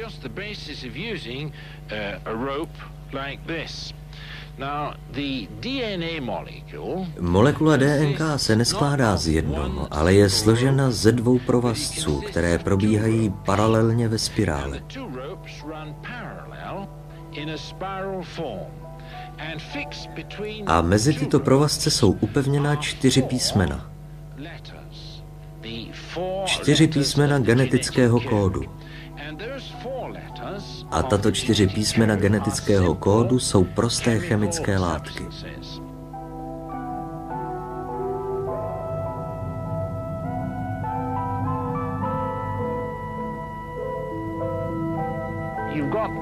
A máme tu dlouhou genetickou molekulu DNK, celou zdvojenou a udržovanou pohromadě uprostřed vodíkovými můstky, což jsou velmi slabé chemické vazby.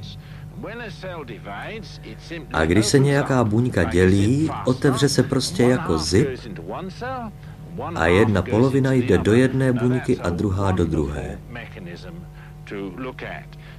Je to na pohled nádherný mechanismus, neboť pomocí tohoto systému můžete zaplnit asi za 20 minut tisíc knih o pětistech stránkách hustě popsanými informacemi.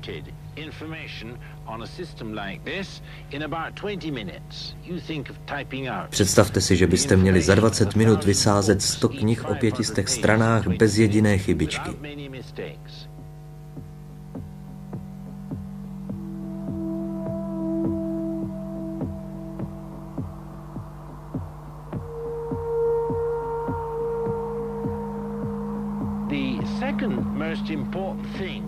Druhou nejdůležitější věcí, co se týče zapisování této knihy života v buňce, je skutečnost, že molekula má schopnost přečíst sebe samu.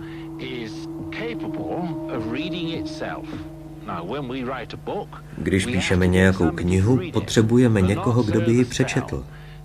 Ale buňka nikoliv. Buňka v první řadě vyrobí to, co známe jako ribozómy. Tyto ribozómy jsou složité bílkoviny a ty stoupají tou dvojitou spirálou, kterou nazýváme molekulou DNK. A jak po ní stoupají, hmatají informaci.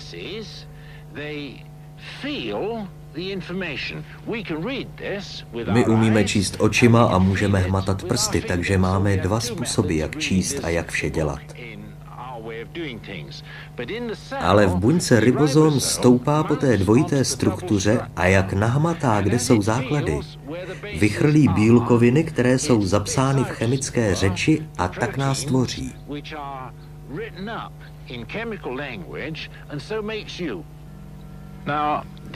Že ty informace, které obsahuje tato molekula DNK, nejsou zapsány na molekulách, které vytvářejí ty provazce.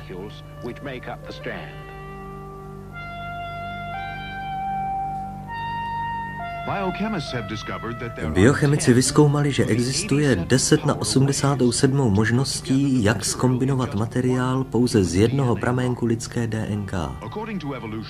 Podle evoluční teorie tato fantasticky složitá molekula, která je pouze malou částí celé lidské buňky, je dílem času, náhody. Vznikla cestou pokusu a omylu. Je to vůbec možné? Problém je v tom, že pro reprodukci bude jenom jedna kombinace z těch 10 na 87 vhodná. Uvědomme si, že 10 na 87 rovná se 10 z 87 nulami. Většina evolucionistů tvrdí, že Země je asi 4,5 bilionu let stará. Víte, kolik vteřin se vejde do 4,5 bilionu let? Jenom 10 na 25. vteřin. Takže kdybychom postupovali cestou pokusu a omylu jeden pokus za každou vteřinu, nebylo by dosti času k tomu, abychom mohli za tu dobu, o které tvrdí evolucionisté, že Země existuje, skombinovat ani jeden pramének DNK. Takové tajuplné chemické dílo, jako je buňka, nevzniklo pouhými chemickými procesy molekul, ze kterých se skládá.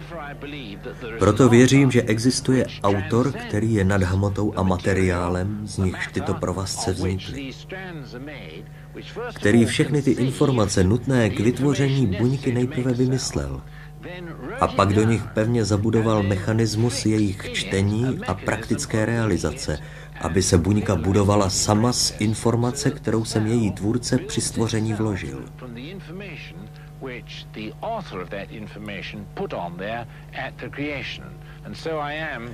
A tak jsem jako vědec přesvědčen, že k vysvětlení pochodů probíhajících v buňce nestačí pouhá chemie, i když tyto pochody jsou chemické. Chemické pochody buňky jsou ovládány informací, která nesídlí v jejich atomech a molekulách.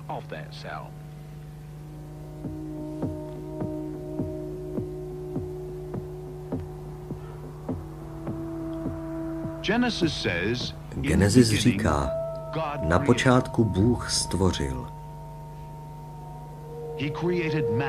Stvořil hmotu z ničeho. Vzal tuto hmotu a utvořil z ní všechny druhy různých tvarů a forem.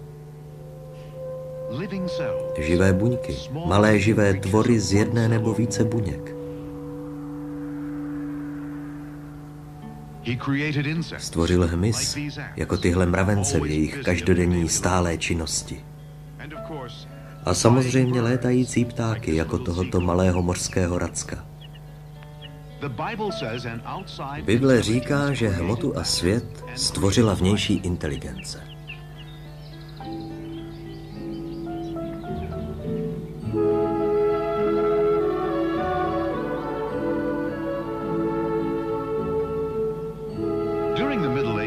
Ve středověku si někteří lidé mysleli, že živé věci povstávají z mrtvé neživé hmoty. Například se mělo za to, že žáby vznikají ze slizu a bláta v rybníce a že červy vznikají z kazícího se masa. Tato pohádková představa se nazývala samoplození. Lidé mysleli, že červy, hemis a mnoho jiných tvorů bylo vytvořeno hmotou, ve které žili. Jeden vědec ze 17. století měl jednoduchý recept stvoření myší samoplozením. Je to trochu úsměvné. Řekl, že stačí špinavá propocená košile a trochu pšenice. Potom se tato směs nechá po 21 dní mírně zapařit. A pak zjistíte, že se z potu a pšenice vytvořily myši.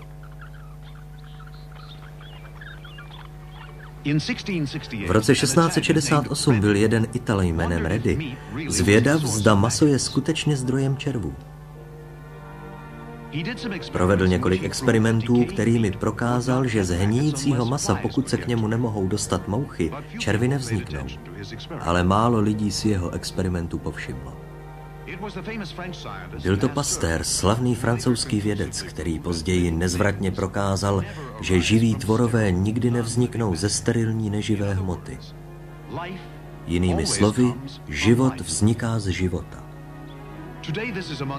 To dnes patří k nejuznávanějším principům vědy. My však shledáváme, že evoluční teorie je založena na myšlence, že život původně vznikl samovolně z neživé hmoty. Věří se tomu navzdory skutečnosti, že zatím nebyl spozorován ani jediný případ samovolného vzniku jakéhokoliv živého organismu.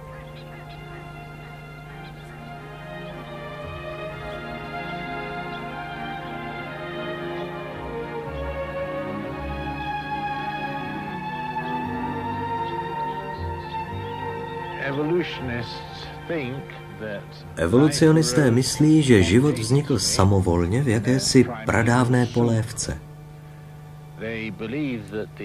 Věří, že v době, kdy vznikal život, byla redukční atmosféra a že se skládala ze čpavku, vodní páry a metanu.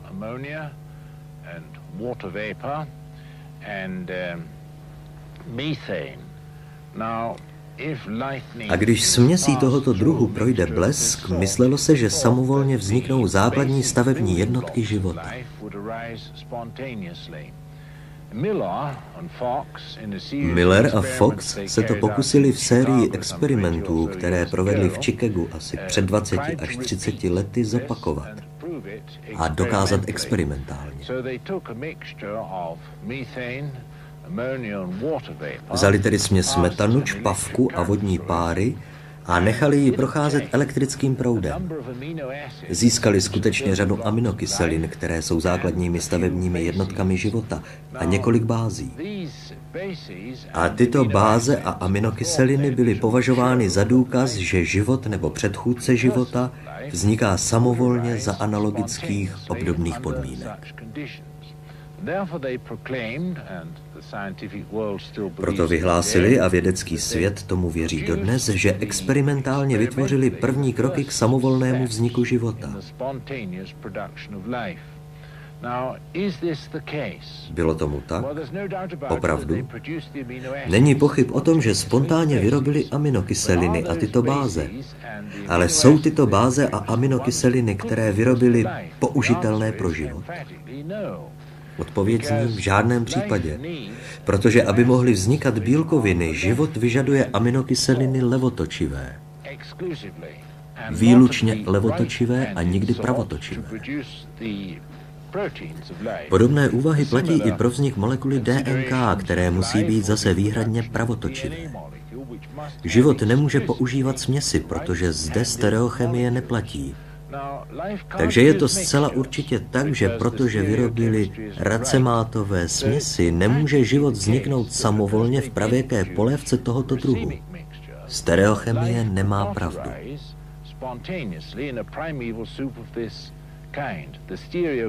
Is wrong.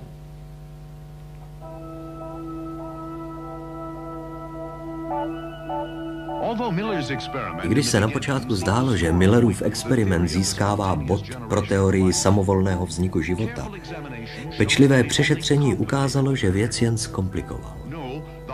Protože jádro otázky, jaký je původ informace, která je zde uložena, je stále tajemství. V Millerově experimentu byla totiž vytvořena směs aminokyselin levotočivých a pravotočivých, takzvaná racemátová směs, která nestáčí rovinu polarizovaného světla. A když máte směs těch dvou, pak život prostě nevzniká, i kdybyste měli, řekněme, život v řetězci levotočivých aminokyselin a vložili tam jedinou pravotočivou, ta jedna by zničila vše, co bylo vytvořeno. Člověk, složitý komplex.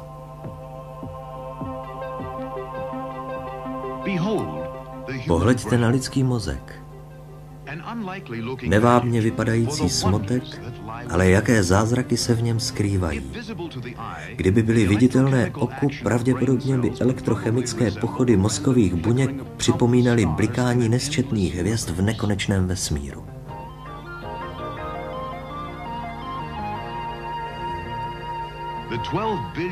12 bilionů buněk mozku vytváří přibližně 120 trilionů spojení.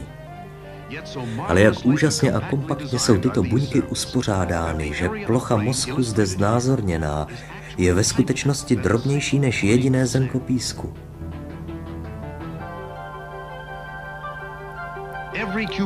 Každý kubický palec mozku, což je asi 2,5 kubických centimetrů, se skládá z nejméně 100 milionů nervových buněk propojených 10 tisíci miliony vláken.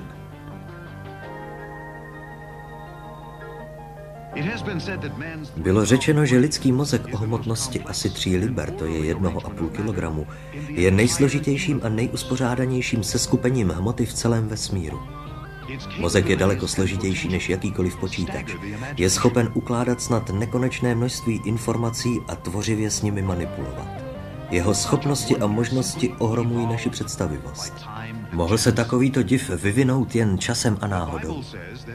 Bible říká, že podíváte-li se na přírodu, pak tento prostý pohled už stačí, abyste mohli ve své mysli dospět k závěru, že je Bůh. So look, tak se rozhlížejte a dívejte se pozorně.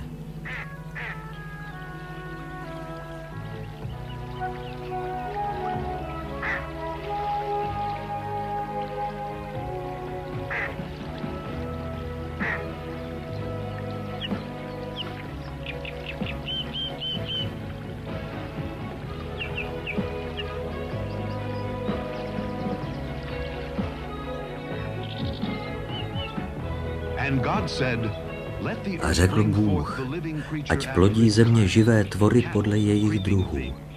Dobytek, plazící se tvory a zvěř země podle jejich druhů. A stalo se tak. A skot podle jejich druhů a všechny tvory plazící se po zemi podle jejich druhů.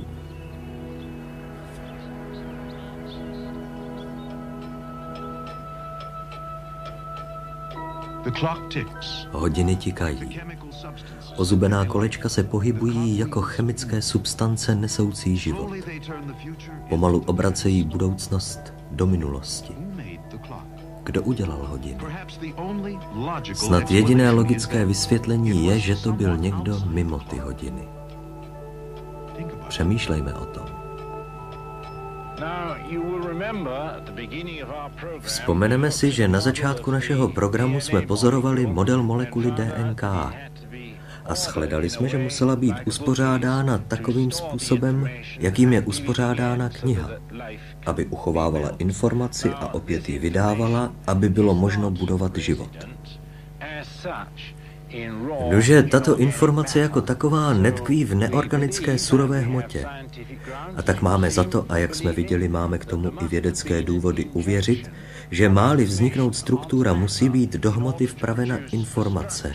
Úplná informace to je akt stvoření a instrukce hmotě, jak vybudovat buňku. A proto člověk, který věří ve stvoření, není v žádném případě vyveden z rovnováhy, když biochemik vejde do své laboratoře, vezme nejmenší částečky země, její prach, chemikálie a svým duchem je uspořádá k životu a sestrojí virus, nebo snad během doby primitivní buňku. Aby se to stalo, vložil do hmoty inteligenci intelligence onto matter in order to do it. Now, when you look když se podíváte na krásu přírody kolem vás, zde je květ jetele, a když uvážíte, že to vše vyrostlo z hmoty, do níž byla vpravena ona informace, o níž zde mluvím, pak snad nevídete z údivu nad moudrostí stvořitele, který měl nejprv tu krásu a úmysl stvořit ji ve své mysli a potom schopnost uskutečnit to.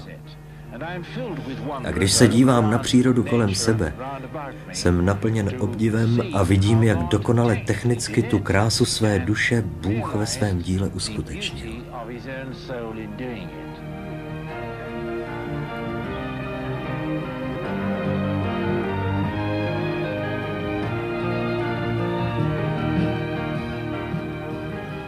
scripture Písmo učí prostě a jasně, a dokonale se to shoduje s mojí vědou, že ten, kdo to učinil, se nazývá Logos, což také znamená zákon, božský rozum. A že tento Logos je stvořitel a také Ježíš, jenž učinil všechno pro sebe a skrze sebe. A poněvadž to tak je, jsem velmi šťasten a pln radosti, že učinil vše tak krásné a že mě cenil tak vysoko, že pro mne zemřel a stal se také mým spasitelem.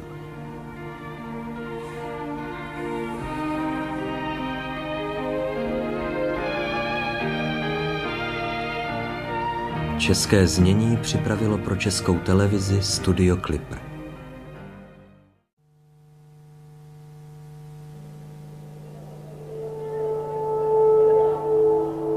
Here we go. Chodíme po dvou, vysocí a vzpřímení, pišní.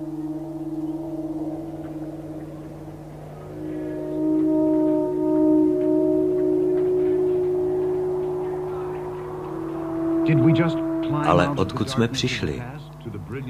Vyšli jsme z temné minulosti k vědomí zářivého denního světla? Byly to naše matky, které nám dali život, o nějž se tak staráme?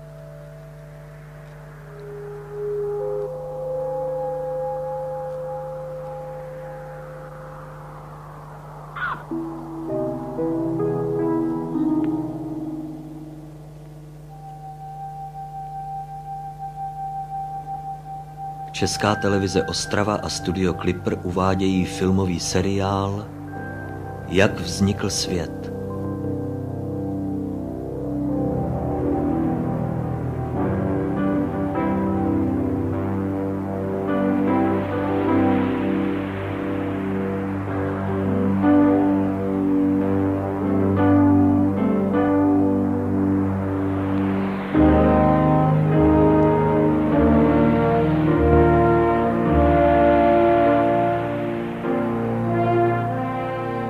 Původ člověka.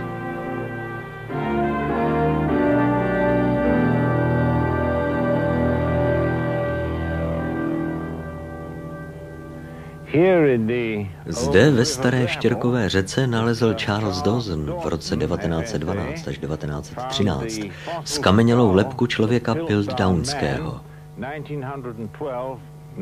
1913. Člověk se stále zabývá tím problémem, odkud pochází. Moderní člověk se stejnou vážností jako člověk starověký. Jakmile se u mé malé dcerky začalo rozvíjet jasnější chápání, asi kolem druhého roku, její první otázka byla, tatínku, odkud jsem přišla? Jak byste na tuto otázku odpověděli? Nyní nám materialisté a biologové sdělili, že se člověk vyvinul evolucí ze zvířat a pokoušejí se najít chybějící články mezi zvířaty a člověkem. Dnes nám mluví méně o chybějících článcích, mluví o společných předcích.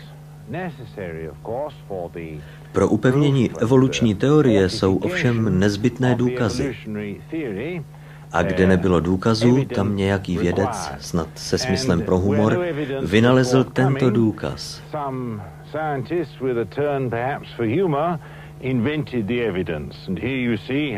A tady vidíte, jak byl vynalezen důkaz o meziúdobí mezi člověkem a opicemi v lepce Piltdowna. Lepka Piltdowna byla lidskou lepkou a čelist byla falzifikátem opičí čelisti. Sloužila 35 let jako takzvaný mezičlánek, do té doby, než bylo objeveno lidmi, kteří pracují v britském muzeu, že to byla opičí čelist spojená s lidskou lepkou a že šlo o úmyslný žert. Jsou zde další věci stejného druhu. Například nebraský člověk, ale dnešními padělanými důkazy se zabývat nehodláme. Chceme se zabývat důkazy pro skutečný mezičlánek mezi člověkem a zvířaty.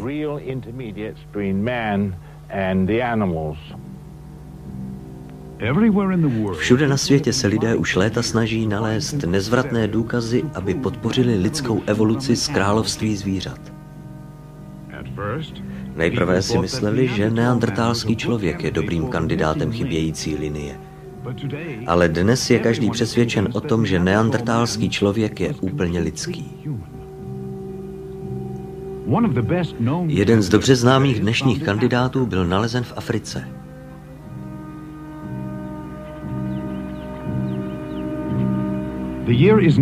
Psal se rok 1959, tím místem bylo Olduvai Gorge v Tanzánii.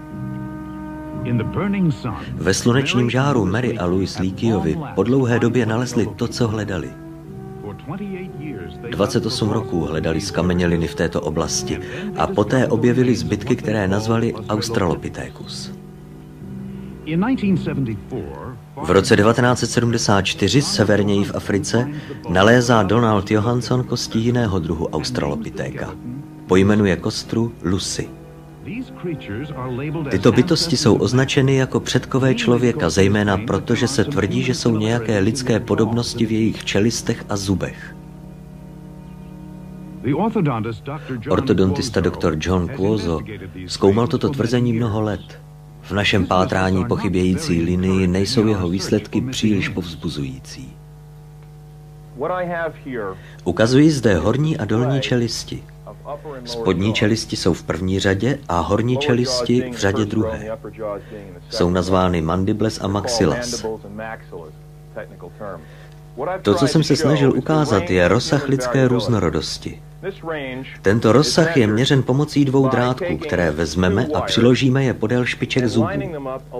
Můžete sestavit drátky tímto způsobem a potom tady změřit úhly.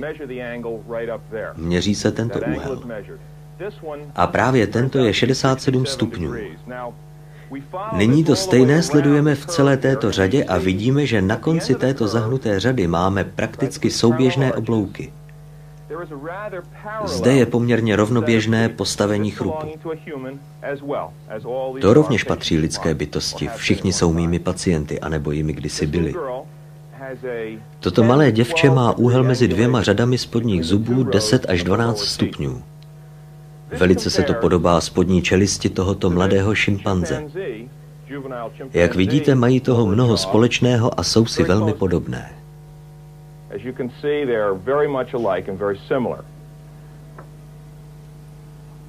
By looking at this then, Mnozí se pokoušeli tvrdit, že můžete specifikovat každý individuální druh podle těchto úhlů. Říkám, že rozsah lidské různorodosti je tak široký, že je velmi těžké najít horní nebo dolní čelist a z toho vyvozovat, že máme nějaké zvláštní druhy. A tak proto, když vidím lepku například jako australopitéka, který má v lebeční části uspořádání lidoopa, zatímco mnoho jeho zubů se velmi podobá lidským, nepokouším se dokazovat podle zubů nebo tvarů zubních oblouků, že se jedná o pračlověka či člověka, opici či lidoopa. be it hominid or true man or monkey or ape. Byl Australopithecus jedním z praotců moderního člověka? Pojďme do Londýna a poslechněme si, co říká odborník o skamenělinách předpokládaného lidoopa. Na kostech tohoto australopitéka byly vykonány řady měření a byly porovnávány počítačem s týmiž měřeními u lidoopů a u lidských bytostí, homo sapiens. Tato měření byla vždy mnohem bližší k hodnotám z opic, nežli k těm, která byla z lidských bytostí. A ve skutečnosti Oxnard, který prováděl tento experiment a tato měření, dospěl k závěru, že pochybuje, zda vůbec byl nějaký článek mezi australopitékem a druhem Homo. Bylo to podpořeno i prací pana Zoli Zuckermana. Ten uskutečnil řadu pokusů, testů a měření na kostech tohoto australopitéka. Řekl, že spojovací článek australopitéka není založen na pevných faktech, ale na spekulacích. Důkaz jasně ukazuje, že Australopithecus byl pouze vyhynulým druhem opice a ničím více. Jméno Australopithecus ve skutečnosti znamená jižní opice.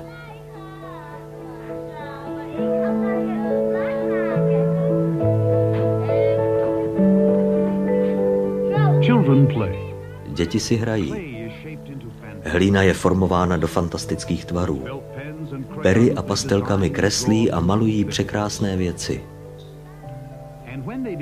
A když se stanou dospělými, ještě navrhují a zakreslují obchodní smlouvy a plány na krásné domy. Navrhli a postavili obrovská města, ve kterých bydlí s tisíci a tisíci svých sousedů.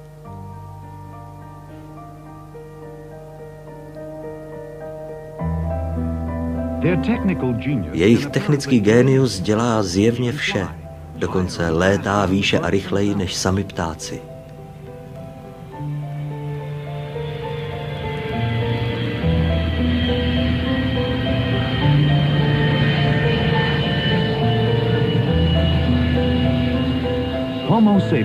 Homo sapiens, moderní člověk. Odkud pochází? Vedle nálezu Australopitheka v Africe, v Tanzánii Líkiovými a v Etiopii Johanssonem, trvají jiní na existenci druhu, o kterém bylo kdysi uvažováno, že je mezičlánkem mezi člověkem a opicemi. Homo erectus. Některé skameněliny objevené blízko Pekingu v letech 1920 až 1940 byly klasifikovány jako pekingský Pithecanthropus. Byly však později přejmenovány na Homo erectus. To, co bylo objeveno, bylo asi 17 lebek nebo hlavně fragmentů lebek. Pouze pět z nich bylo tak vhodných, aby mohly být rekonstruovány pro zjištění mozkové kapacity.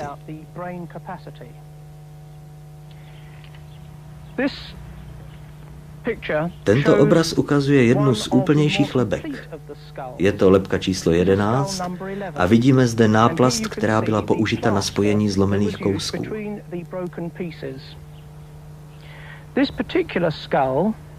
Tato zvláštní lepka sem byla dodána s nějakými lícními kostmi, vzdálenými od sebe na několik metrů.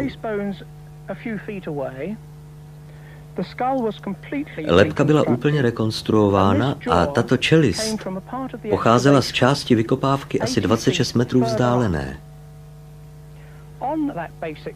Na základní lepce byla modelována tvář ženy. A tuto lepku nazvali Nelly. Tento obraz a tato rekonstrukce získali velkou publicitu. Jsem však zvědav, kolik lidí si uvědomí, že to vše je na základě velmi těžce polámané lepky a rekonstrukce, jako je tato. Nejen lepky jsou rekonstruovány na základě pouhých několika fragmentů, ale i lidské tváře jsou více či méně výsledkem umělcovy fantazie. Když umělci mají kosti nějakých opic, zkoušejí obvykle udělat rekonstrukci, aby vypadala pokud možno jako člověk. Dají jim zvláštní podobu, aby se zdálo, že zapadají do evolučního schématu. Naopak, když mají lidské kosti, často užívají umělecké svobody, aby zrekonstruovali obraz pokud možno podobný opici. Není možné říci, kolik vlasů nějaká osoba měla, když se díváme na její kosti. Dokonce ani úplná lepka nám nemůže určit přesný tvar nosu, očí, úst a uší.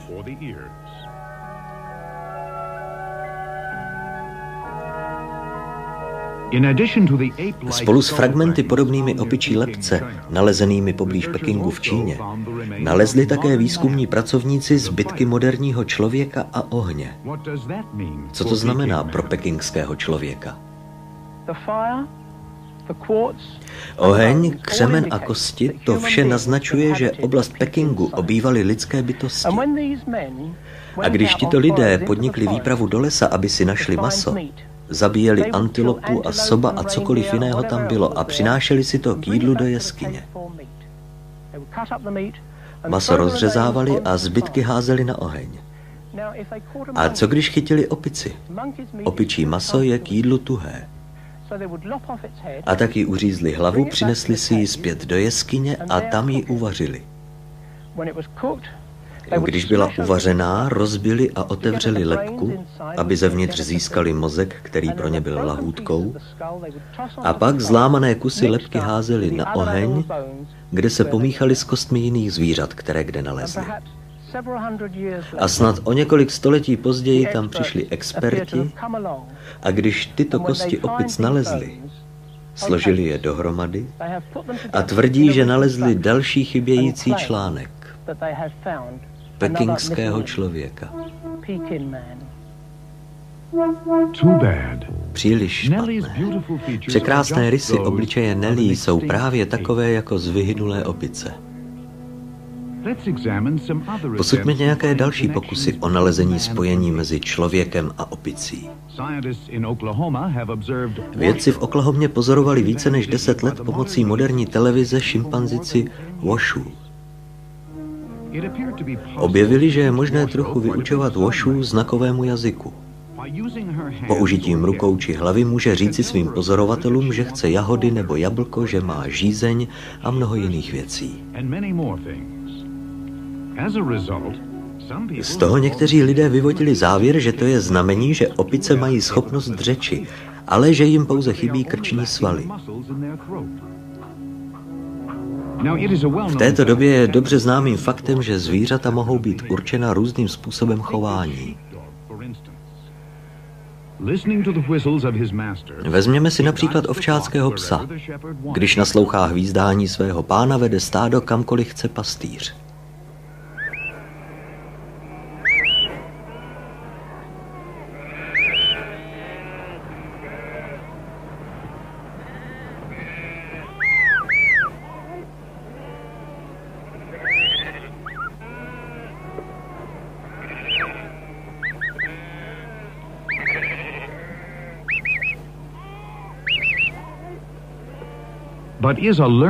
Ale jen naučená reakce na určité signály skutečnou známkou mozkové kapacity pro souvislé myšlení a řeč.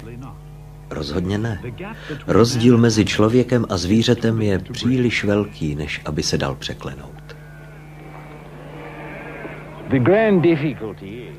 Zásadní potíž je v tom, že mezi člověkem a zvířaty je velká mezera. Člověk má počítač, který kontroluje jeho řeč a má v mozku centrum řeči, které zvíře nemá. Mnoho lidí bude protestovat, když jim řeknete takové věci. Pokud se týká zvířat, mohou se naučit i slova. Pes se může naučit poznat tiskání pastýře a podle toho reagovat a mohou takto jeden s druhým komunikovat. Delfín se také může naučit náznakům řeči. Dozvěděl jsem se, že například šimpanz Washu v Americe mluví v náznacích. Zvíře se může naučit slova, ale nemůže se naučit gramatiku což je zásadní obtíž, protože k tomu je třeba velmi dokonalý počítač.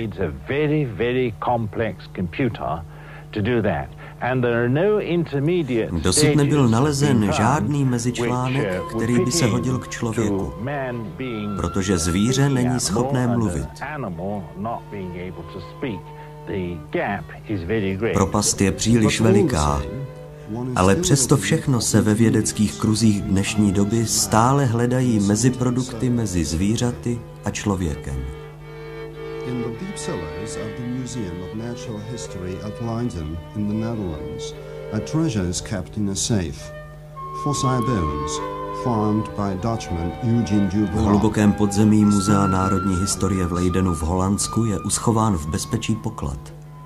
Fosilní kosti nalezené holanděnem Eugenem Duboisem. Příběh je následující.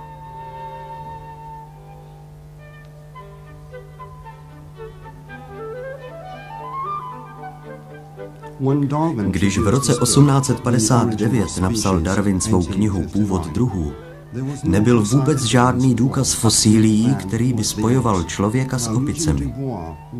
V roce 1880 odešel Eugen Dubois na Dálný východ a řekl svým kolegům, že odchází speciálně proto, aby tam nalezl chybějící článek.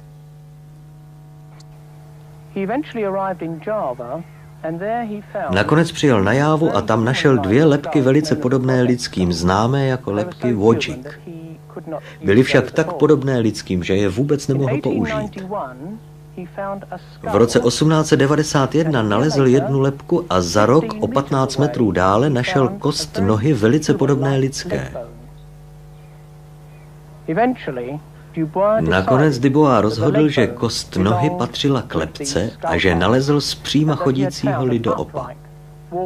A pojmenoval ho pak Pithecanthropus erectus. Tady je jeho lepka a tady máme kost nohy. Nuže čí skutečně byly? Všeobecně bylo přijímáno, že tato kost nohy byla v skutku lidská, ale důležitá debata se vedla o lepce. Když se vrátil a uveřejnil své výsledky, tvrdil, že nalezl chybějící článek v zpřímeně chodícího lidoopa. Byla tomu dána velká publicita a byl kolem toho velký rozruch. Ale po celý čas, kdy pořádal přednášky, se nikdy nezmínil o těch dřívějších lepkách, které nalezl. O lepkách Wojcik. Po 30 let držel tyto lepky v tajnosti a vůbec nikomu o nich neřekl. A neučinil to do roku 1920, kdy teprve zveřejnil vědeckému světu, že lepky objevil. To ovšem způsobilo veliké zděšení. Kdyby býval ukázal tyto dvě lidské lepky ve stejnou dobu, kdy ukázal svého muže z Jávy, nikdo by nepřijal tyto kosti jako zbytosti napůl lidské a napůl opičí. Protože tyto zcela lidské kosti nalezl ve stejném čase a podobné geologické vrstvě.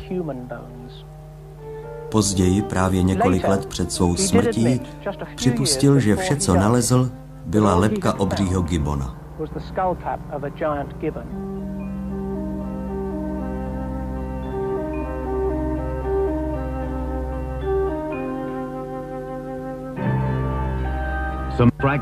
Nějaké fragmenty vymřelého obřího gibona na Jávě, zbytky jižní opice australopitéka nalezené v Africe, Stejně jako nálezy manželů Líkiových a Johanssona, kteří nazvali svého etiopského australopitéka Lucy. Všechno na jednom stole. Tyto a jiné objevy tohoto druhu jsou tím hlavním výsledkem našeho pátrání po chybějících článcích člověku.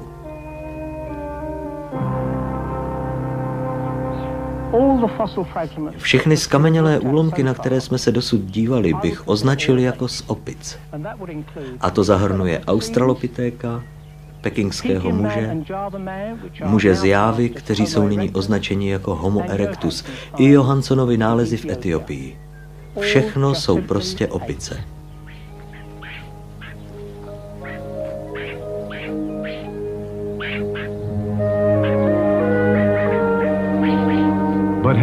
Byl vůbec nalezen nějaký důkaz, který by naznačil, že lidské bytosti a tyto vyhynulé opice žili ve stejném čase?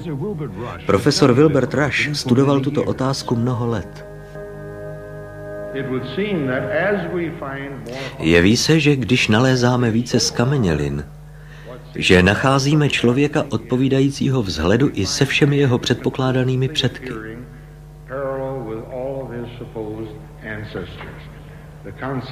Koncepce člověka, který se rozvíjí z těchto polozvířecích forem, je prostě velmi pochybná a nemůže se udržet.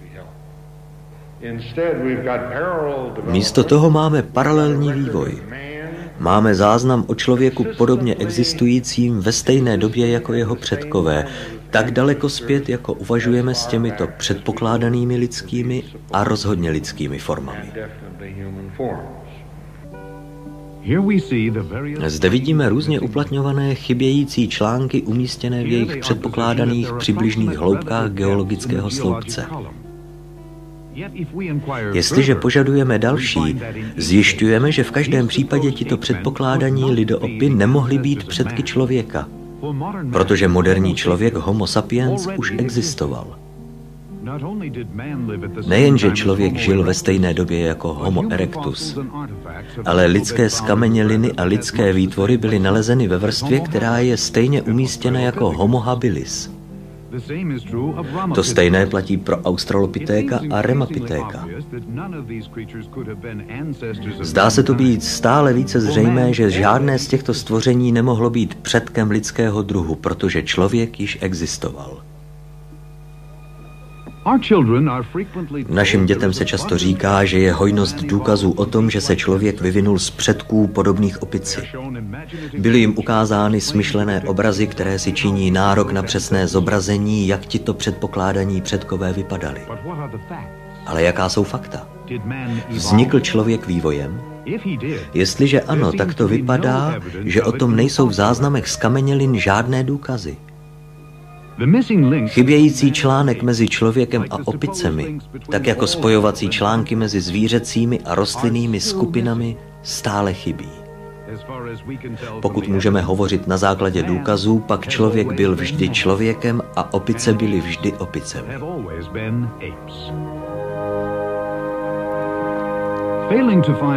Z nedostatku nalezených skamenělých faktů pro podpoření přechodu od opice k člověku se antropologové místo toho obrátili na nové pole výzkumu nazvané molekulární taxonomie.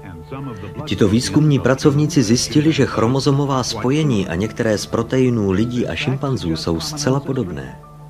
Ukazuje tento fakt na společné předky? Ne nezbytně, protože existuje více než jeden logický způsob, jak vyložit takové podobnosti.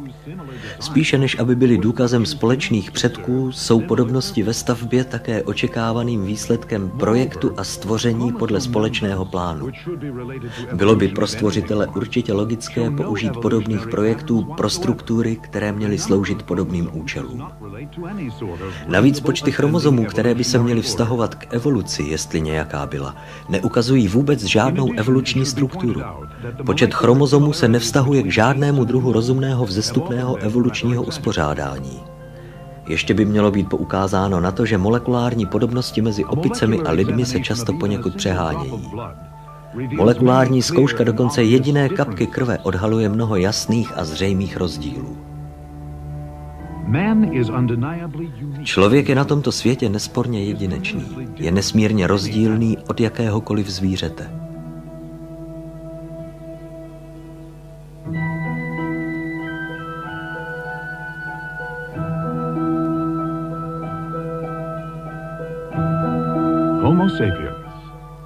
Homo sapiens. Moderní člověk, stvořený jako perfektní bytost, se stupuje pomalu do temnosti ale jeho jedinečnost je stále zřejmá. Je to zřejmé zejména v jeho síle tvořit.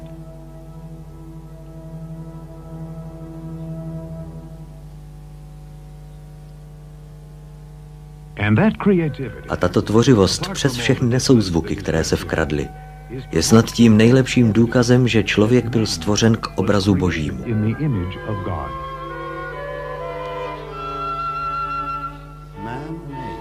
Člověk a opice. Určitá podobnost ve tvaru, ale nejsou nezbytně příbuzní.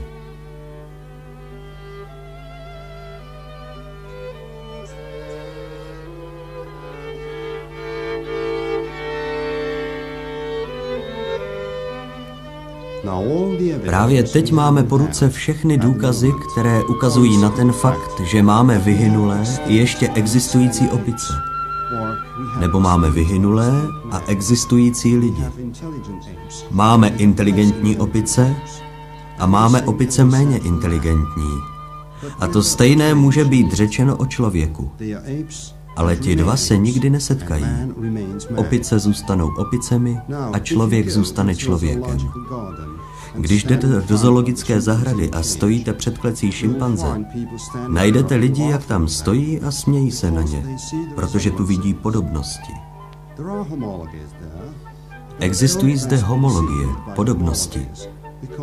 Ale nenechme se oklamat podobnostmi, protože mohou docela dobře pocházet z tohoto faktu, že všechny stvořil společný tvůrce – já osobně věřím, že geny, které jsou detailně propracovanými programy, jež vytvořili různé druhy, mohou vzniknout pouze od stvořitele, který je všechny stvořil a proto existují podobnosti či homologie, které ve skutečnosti nalézáme dnes v biologii. České znění připravilo studio Clipper.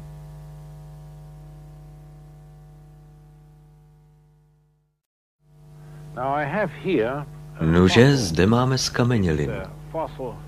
Jak můžete vidět, je to skamenělina ryby zachovaná v kameni a právě uprostřed rozštěpená.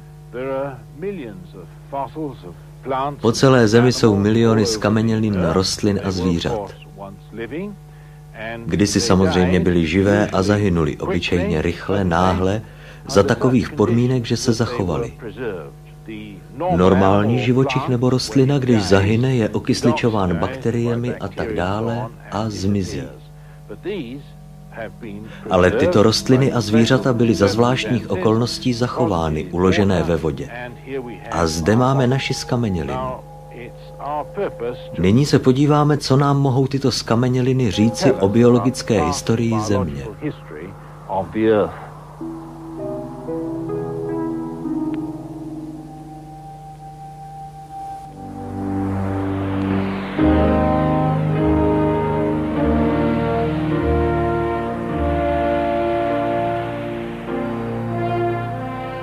Záznam ze skamenělin.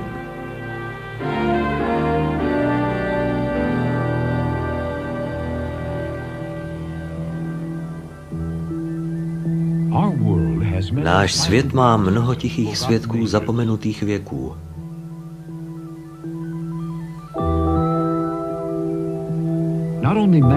Nejen člověk má svědky své minulosti, země samotná také. Majestátné hory vyzdvižené neuvěřitelnými silami. Umělecká díla vytvořená větrem a vodou. Vytesané výtvory nesmírné krásy, která nám bere dech. Jsou tiché, nemluví. Ale když nasloucháte pozorně a trpělivě, řeknou vám svůj příběh.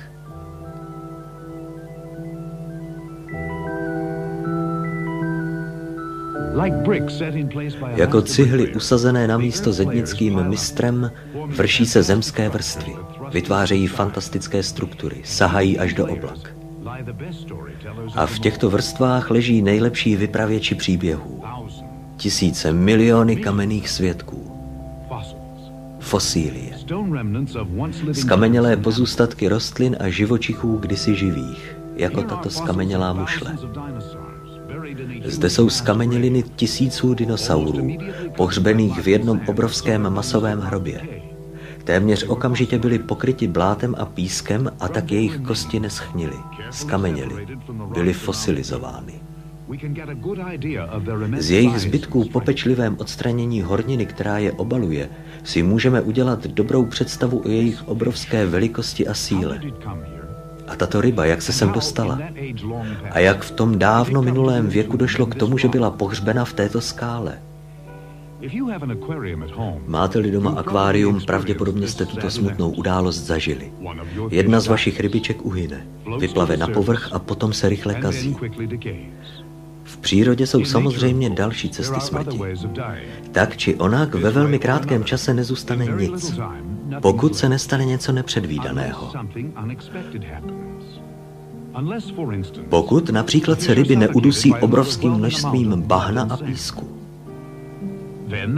Potom mohou skamenět a stát se v poměrně krátkém časovém období věčně trvajícími skamenělinami. Zdá se, že jediným odpovídajícím vysvětlením hromadného množství skamenělin, které nacházíme, je celosvětová globální povodeň.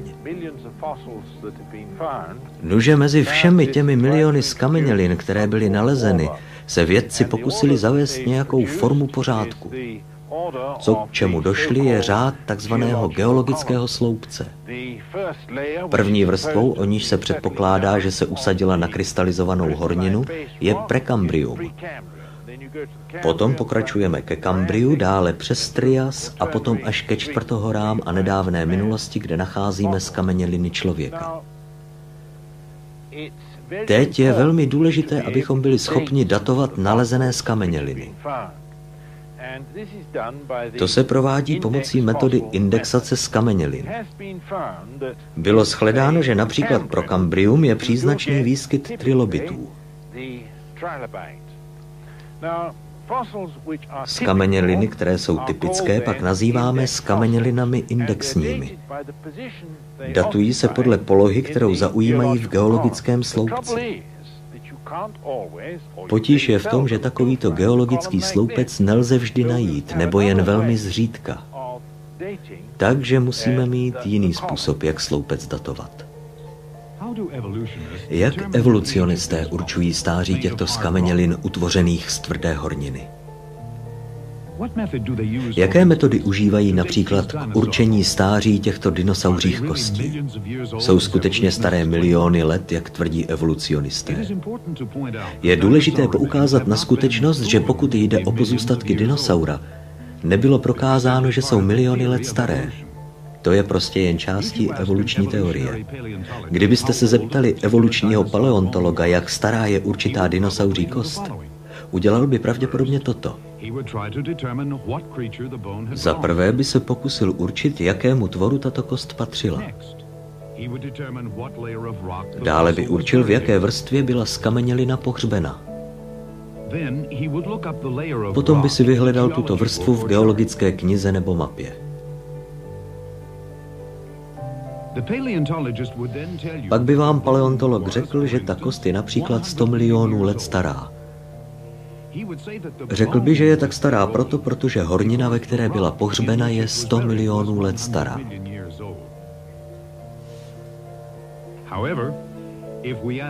Avšak kdybychom se zeptali geologa, kdo tu geologickou knihu napsal, a odkud zná stáří té horniny, pravděpodobně by nám řekl, že si je jist stářím té horniny, protože v ní byl ten určitý druh skameněliny dinosaura.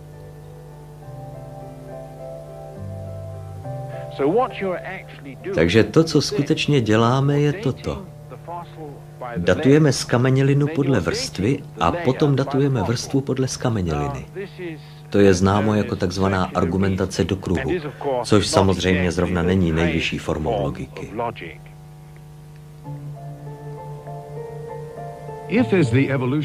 Jestliže se jeden druh postupně vyvinul v jiný, jak tvrdí evolucionisté, pak bychom s jistotou předpokládali, že najdeme mnoho přechodných typů.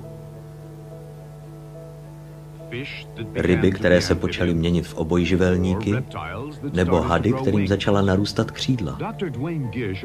Doktor Duane Gish z Ústavu pro výzkum stvoření v San Diego by nám o tom mohl hodně vyprávět. Poslechněme si, co říká. Evolucionisté často hovoří o fosilních nálezech jako o důkazu podporujícím evoluční teorii.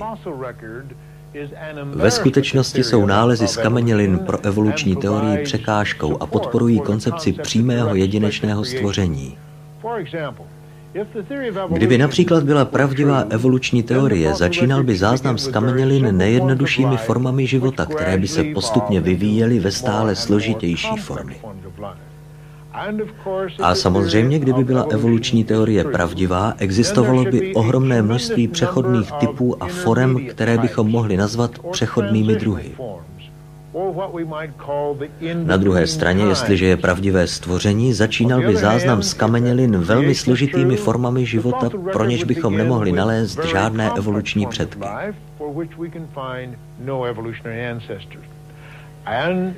Jestliže je pravdivé stvoření, žádné přechodné formy mezi stvořenými druhy nebo základními typy rostlin a zvířat bychom samozřejmě nepředpokládali.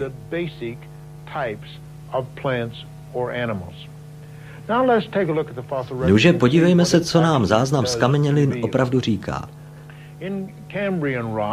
V kambrických horninách, o kterých evolucionisté tvrdí, že se usazovali před 600 miliony let, nacházíme ohromná seskupení velmi složitých forem života.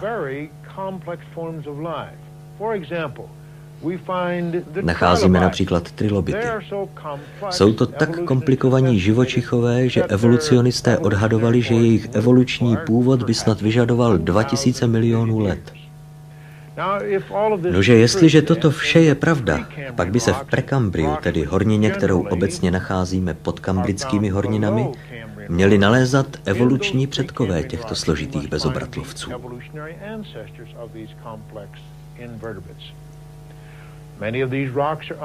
Mnohé z těchto hornin jsou neporušené a dokonale vhodné pro zachování skamenělin. A co v nich nacházíme? Můžeme s jistotou říci, nikdo nikdy nebyl schopen najít na tváři země evoluční předky těchto kambrických živočichů. Žádní evoluční předkové hub, medus, mořských okurek, ježovek, ramenonožců nebo červů. Jakékoliv z těchto tvorů se nikdy nepodařilo nalézt. Našlo se to, o čem se domnívají, že jsou to skameněliny mikroskopických bakterií a řas jednobuněčných mikroskopických živočichů. Ale žádný spojovací článek. Jinými slovy, tito složití tvorové se objevují náhle, utvořeni plně bez evolučních předků. A to je to, co bychom samozřejmě očekávali za předpokladu stvoření. Evolucionisté také věří, že jeden z těchto bezobratlých dal vzniknout obratlovcům a věří, že ryby byly prvními obratlovci. Obratlovci mají kostru nebo páteř, kdežto bezobratlí mají buď měkká těla nebo skořepiny. Věří, že tento přechod trval asi 100 milionů let. Jestliže je to pravda, pak bychom museli v záznamu z kamenělin nacházet ohromný počet těchto přechodných typů. Ale co nacházíme ve skutečnosti? Nebyla nalezena ani jediná přechodná forma. Ryby se objevují náhle, plně utvořené. Nikdy nebyl nalezen žádný předek ryby the fishes appear abruptly, fully formed, and absolutely no ancestors for the fishes have ever been found. Sledujeme-li příběh, který nám vyprávějí skameněliny, dojdeme ke stejnému závěru. Žádné přechodné formy mezi bezobratlými a obratlovci, žádné přechodné formy mezi rybami a obojživelníky. Mezi obojživelníky a hady, mezi hady a savci. Abychom tuto trochu zlouhavou a složitou historii zkrátili. Žádné přechodné formy vůbec nikde na světě nebyly nikdy nalezeny, ani žijící, ani skamenělé. Mohli jsme je minout nebo přehlédnout? Podívejme se na jeden z nejdůležitějších kroků, takový, který bychom sotva mohli přehlédnout. Vývoj létání.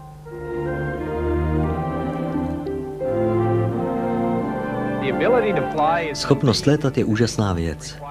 Vyžaduje koordinovanost svalů, mozku a kostí, která tak jasně ukazuje na inteligentní tvůrčí záměr.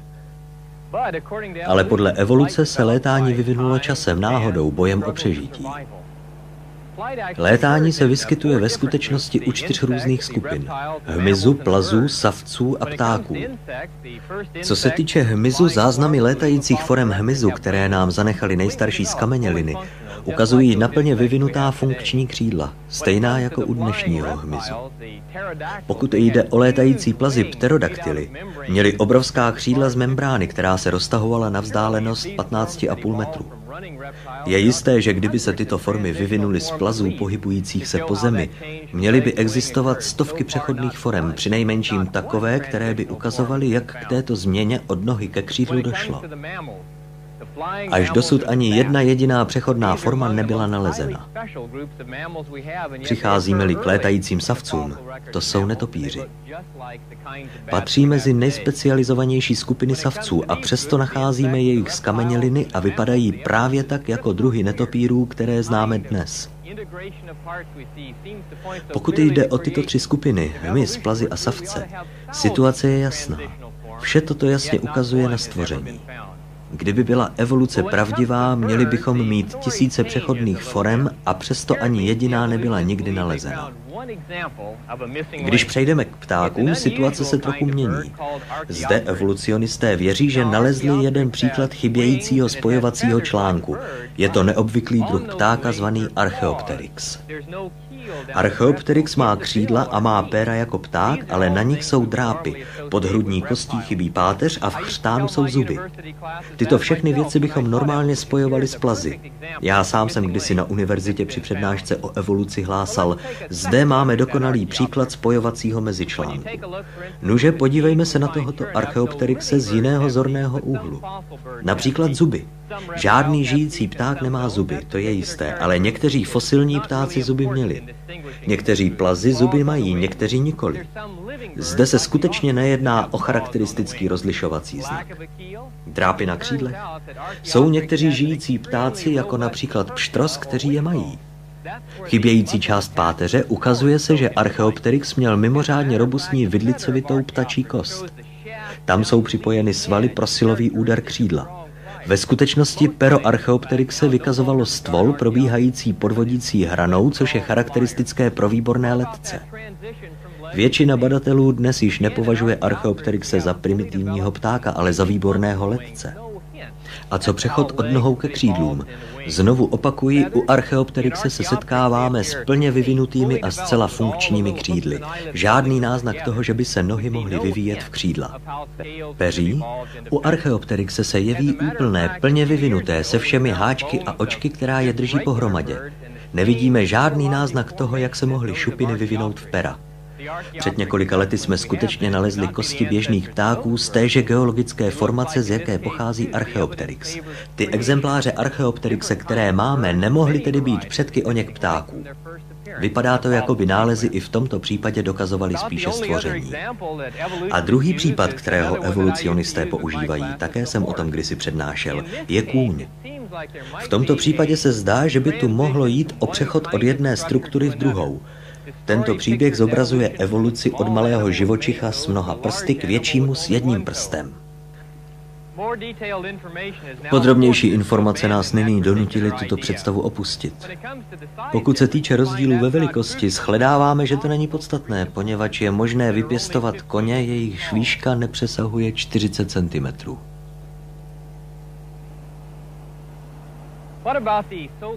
A co takzvaný prakůň? V této souvislosti často citovaný tzv. kohypus, domělý prapředek koní o velikosti kočky nebo lišky. Nyní víme, že to vůbec není kůň. Jedná se o skalního jezevce nebo králíka, což by vědci nazvali Hyrax. Oficiální název pro tohoto prakoně je také Hyrakotérium. Je to předek nikoli v koní, ale skalních jezevců nebo králíků, kteří žijí dodnes. A co ty přechodné formy, které ukazují, jak se počet prstů postupně snižoval? I v tomto případě nacházíme všechny meziformy pohřbené ve stejné geologické formaci. To ukazuje, že žili ve stejné době a nemohli být tudíž předky jeden druhého. Pravděpodobnější bude asi scéna, kterou bychom mohli pozorovat v okolí koryta jedné africké řeky, kde ve stejné době žila vedle sebe zvířata nejrůznější velikosti, s několika i více prsty.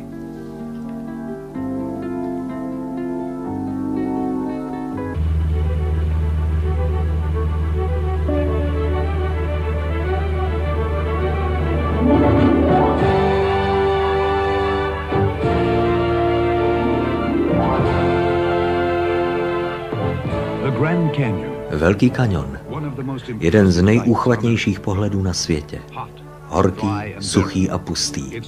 Rozprostírá se na stovky mil.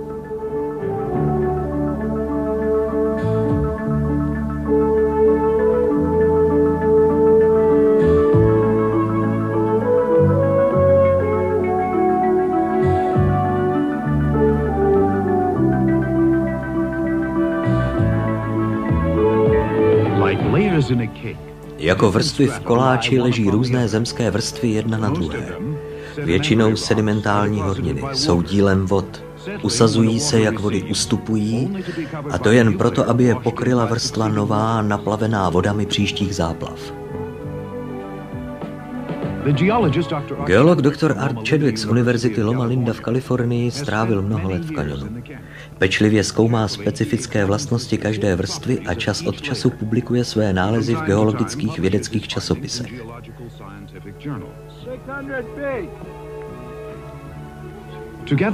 Spolu se svým asistentem vyměřuje krajinu a různé vrstvy se svými charakteristickými zvláštnostmi vydávají svá tajemství. Unikátní zvláštností Velkého kanionu je, že máme vrstvy přímo před očima. Sami o sobě nejsou ničím zvláštním, nacházejí se v mnoha, mnoha částech světa, ale zde je můžeme vidět obnažené na míli hluboko, vrstvy tvořící povrch země, které se jinde dají odkrývat jen z povrchu. Naše studie nás zavádí do prostoru na západ od říčky Monatnet Creek, kde je útes, který se tyčí přes 250 metrů nad okolní krajinou. V tomto zvláštním areálu lze najít na vrcholu útesu usazeniny, které se nacházejí i mimo útes a v úrovni téměř o 150 metrů níže. To by znamenalo, že tu v době, kdy se tyto vrstvy ukládaly, bylo nejméně 150 nebo 180 metrů vody. Poněvadž k uložení vrstev bylo nutno vynaložit mnoho energie, vyplývá z toho, že procesy, které to způsobily, musely být rovněž energetické.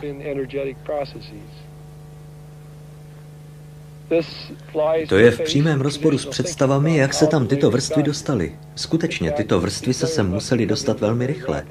Tím nechceme říci, že by se celý sloupec musel nutně nahromadit v krátké době, ale souhlasí to s představou, že jednotlivé vrstvy se sem musely dostat na základě procesů známých jako takzvané turbiditní proudy v okamžiku nebo nějak podobně. V posledních 30 až 40 letech se ukázalo, že turbiditní procesy jsou důležité při sedimentaci. Unikátní je to, že probíhají tak rychle. Sediment je uložen v areálech až do 100 000 čtverečních kilometrů. Sediment se pohybuje podně rychlostí 80 až 90 km za hodinu.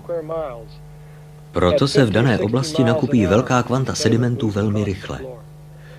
To úplně změnilo naše představy o procesech utváření těchto vrstev zde v kanionu. Tento názor podporuje i skutečnost, že tyto vrstvy jdou průběžně kilometr za kilometrem po celém kanionu. Geologické studie ukazují nejen to, že většina vrstev v kanionu byla utvářena velmi rychle v podmínkách hromadné záplavy, ale také to, že kanion byl do své nynější základní formy utvářen velmi rychle i erozí. Nebyla to pomalu postupující eroze řeky Colorado, která vyhloubila jádro kanionu. Proces, který by trval miliony let.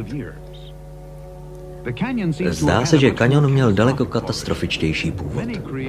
Mnoho kreacionistů má za to, že většina z těchto hrůzu nahánějících sérií formací vznikla gigantickými vyzvednutími zemské kůry a následnými efekty velké světové potopy za dnů Noémových.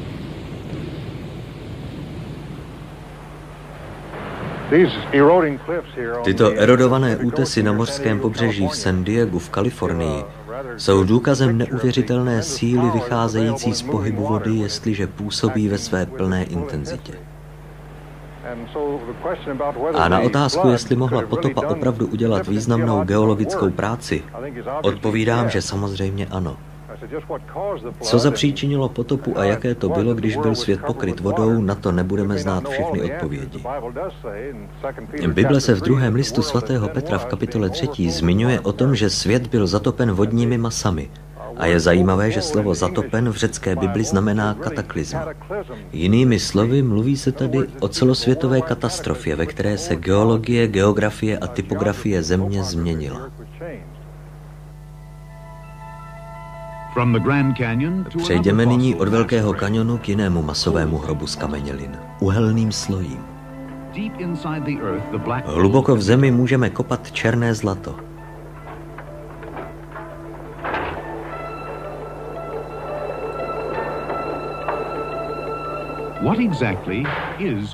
Uhlí, co to vlastně je? Uhlí jsou zbytky obrovských mas pohřbených rostlinných materiálů. Na mnoha místech byly hlavní složkou souvislé pláty kůry z ohromných předvěkých stromů. Slisovány, skarbonizovány, tyto zčernalé zbytky přišly, aby sloužily jako cený zdroj energie.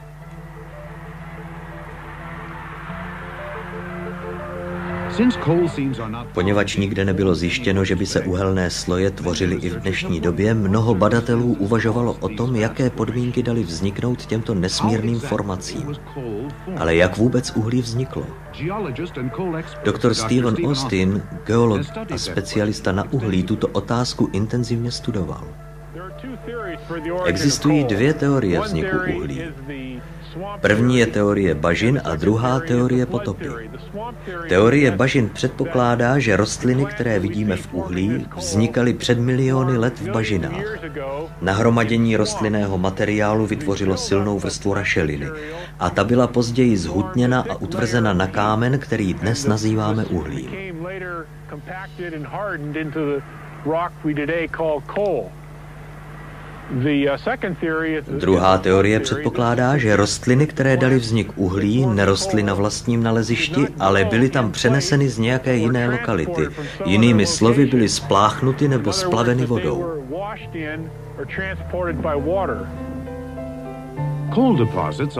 Uhelná ložiska se vždy nacházejí ve vodních sedimentech a obvykle jsou doprovázena obrovským množstvím mořských skamenělin. Rozsáhlý Austinův výzkum uhelných slojí ve Spojených státech ukázal, že mnoho uhelných vrstev se původně usazovalo na dně oceánu pod ohromnými plovoucími masami vegetace.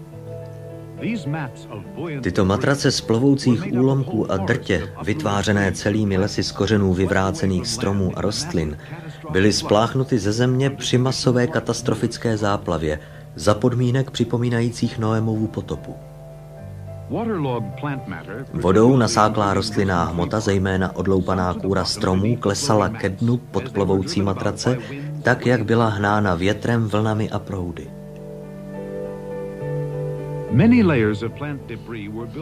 Tímto způsobem se utvořilo mnoho vrstev rostlinné tříště a postupně bylo vše pohřbeno pod usazeninami bahna, které později stvrdlo v horninu. Jako výsledek těchto záplavových depozit nacházíme v některých případech skamenělé celé kmeny stromů, pohřbené pod různým úhlem a rozložené v silných vrstvách uhlí a jiných sedimentů. Ale jak dlouho to trvá, než se rostliny změní v uhlí?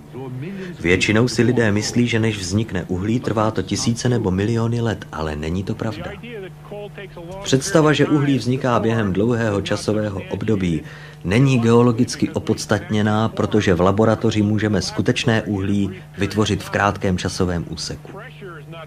Hlavním faktorem při vzniku uhlí není tlak, poněvadž na mnoha místech, zejména zde ve východní oblasti Spojených států, je uhlí ve velmi skroucené a deformované vrstvě, která byla vystavena ohromným tlakům. Přece však nevykazuje efektivní zuhelnatění tak, jak by měly, kdyby při tvorbě uhlí byl tlak hlavním faktorem. Konečným faktorem při utváření uhlí je teplota.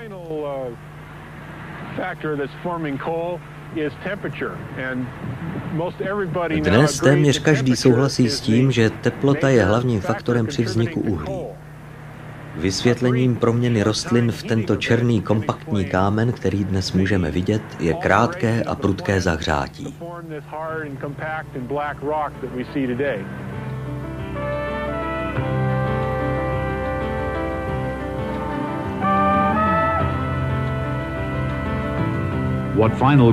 Jaký konečný závěr můžeme odvodit z těchto faktů? Při našem výletu do přírody, když jsme zkoumali, jaké důkazy nám mohou poskytnout skameněliny, jsme dospěli k těmto závěrům. Za prvé, uhlí může docela snadno vznikat z mas rostlinného materiálu při vysokém tlaku a teplotě během minut nebo hodin.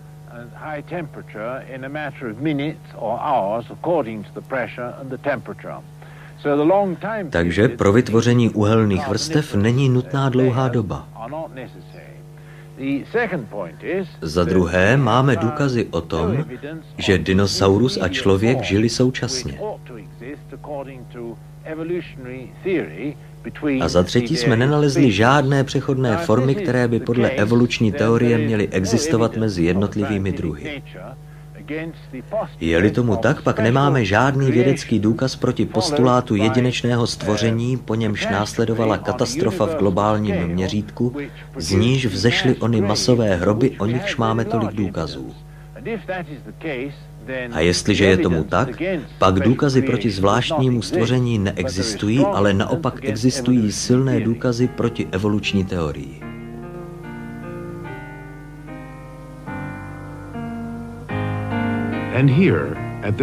A zde ve Velkém kanionu pátrání po našem původu končí.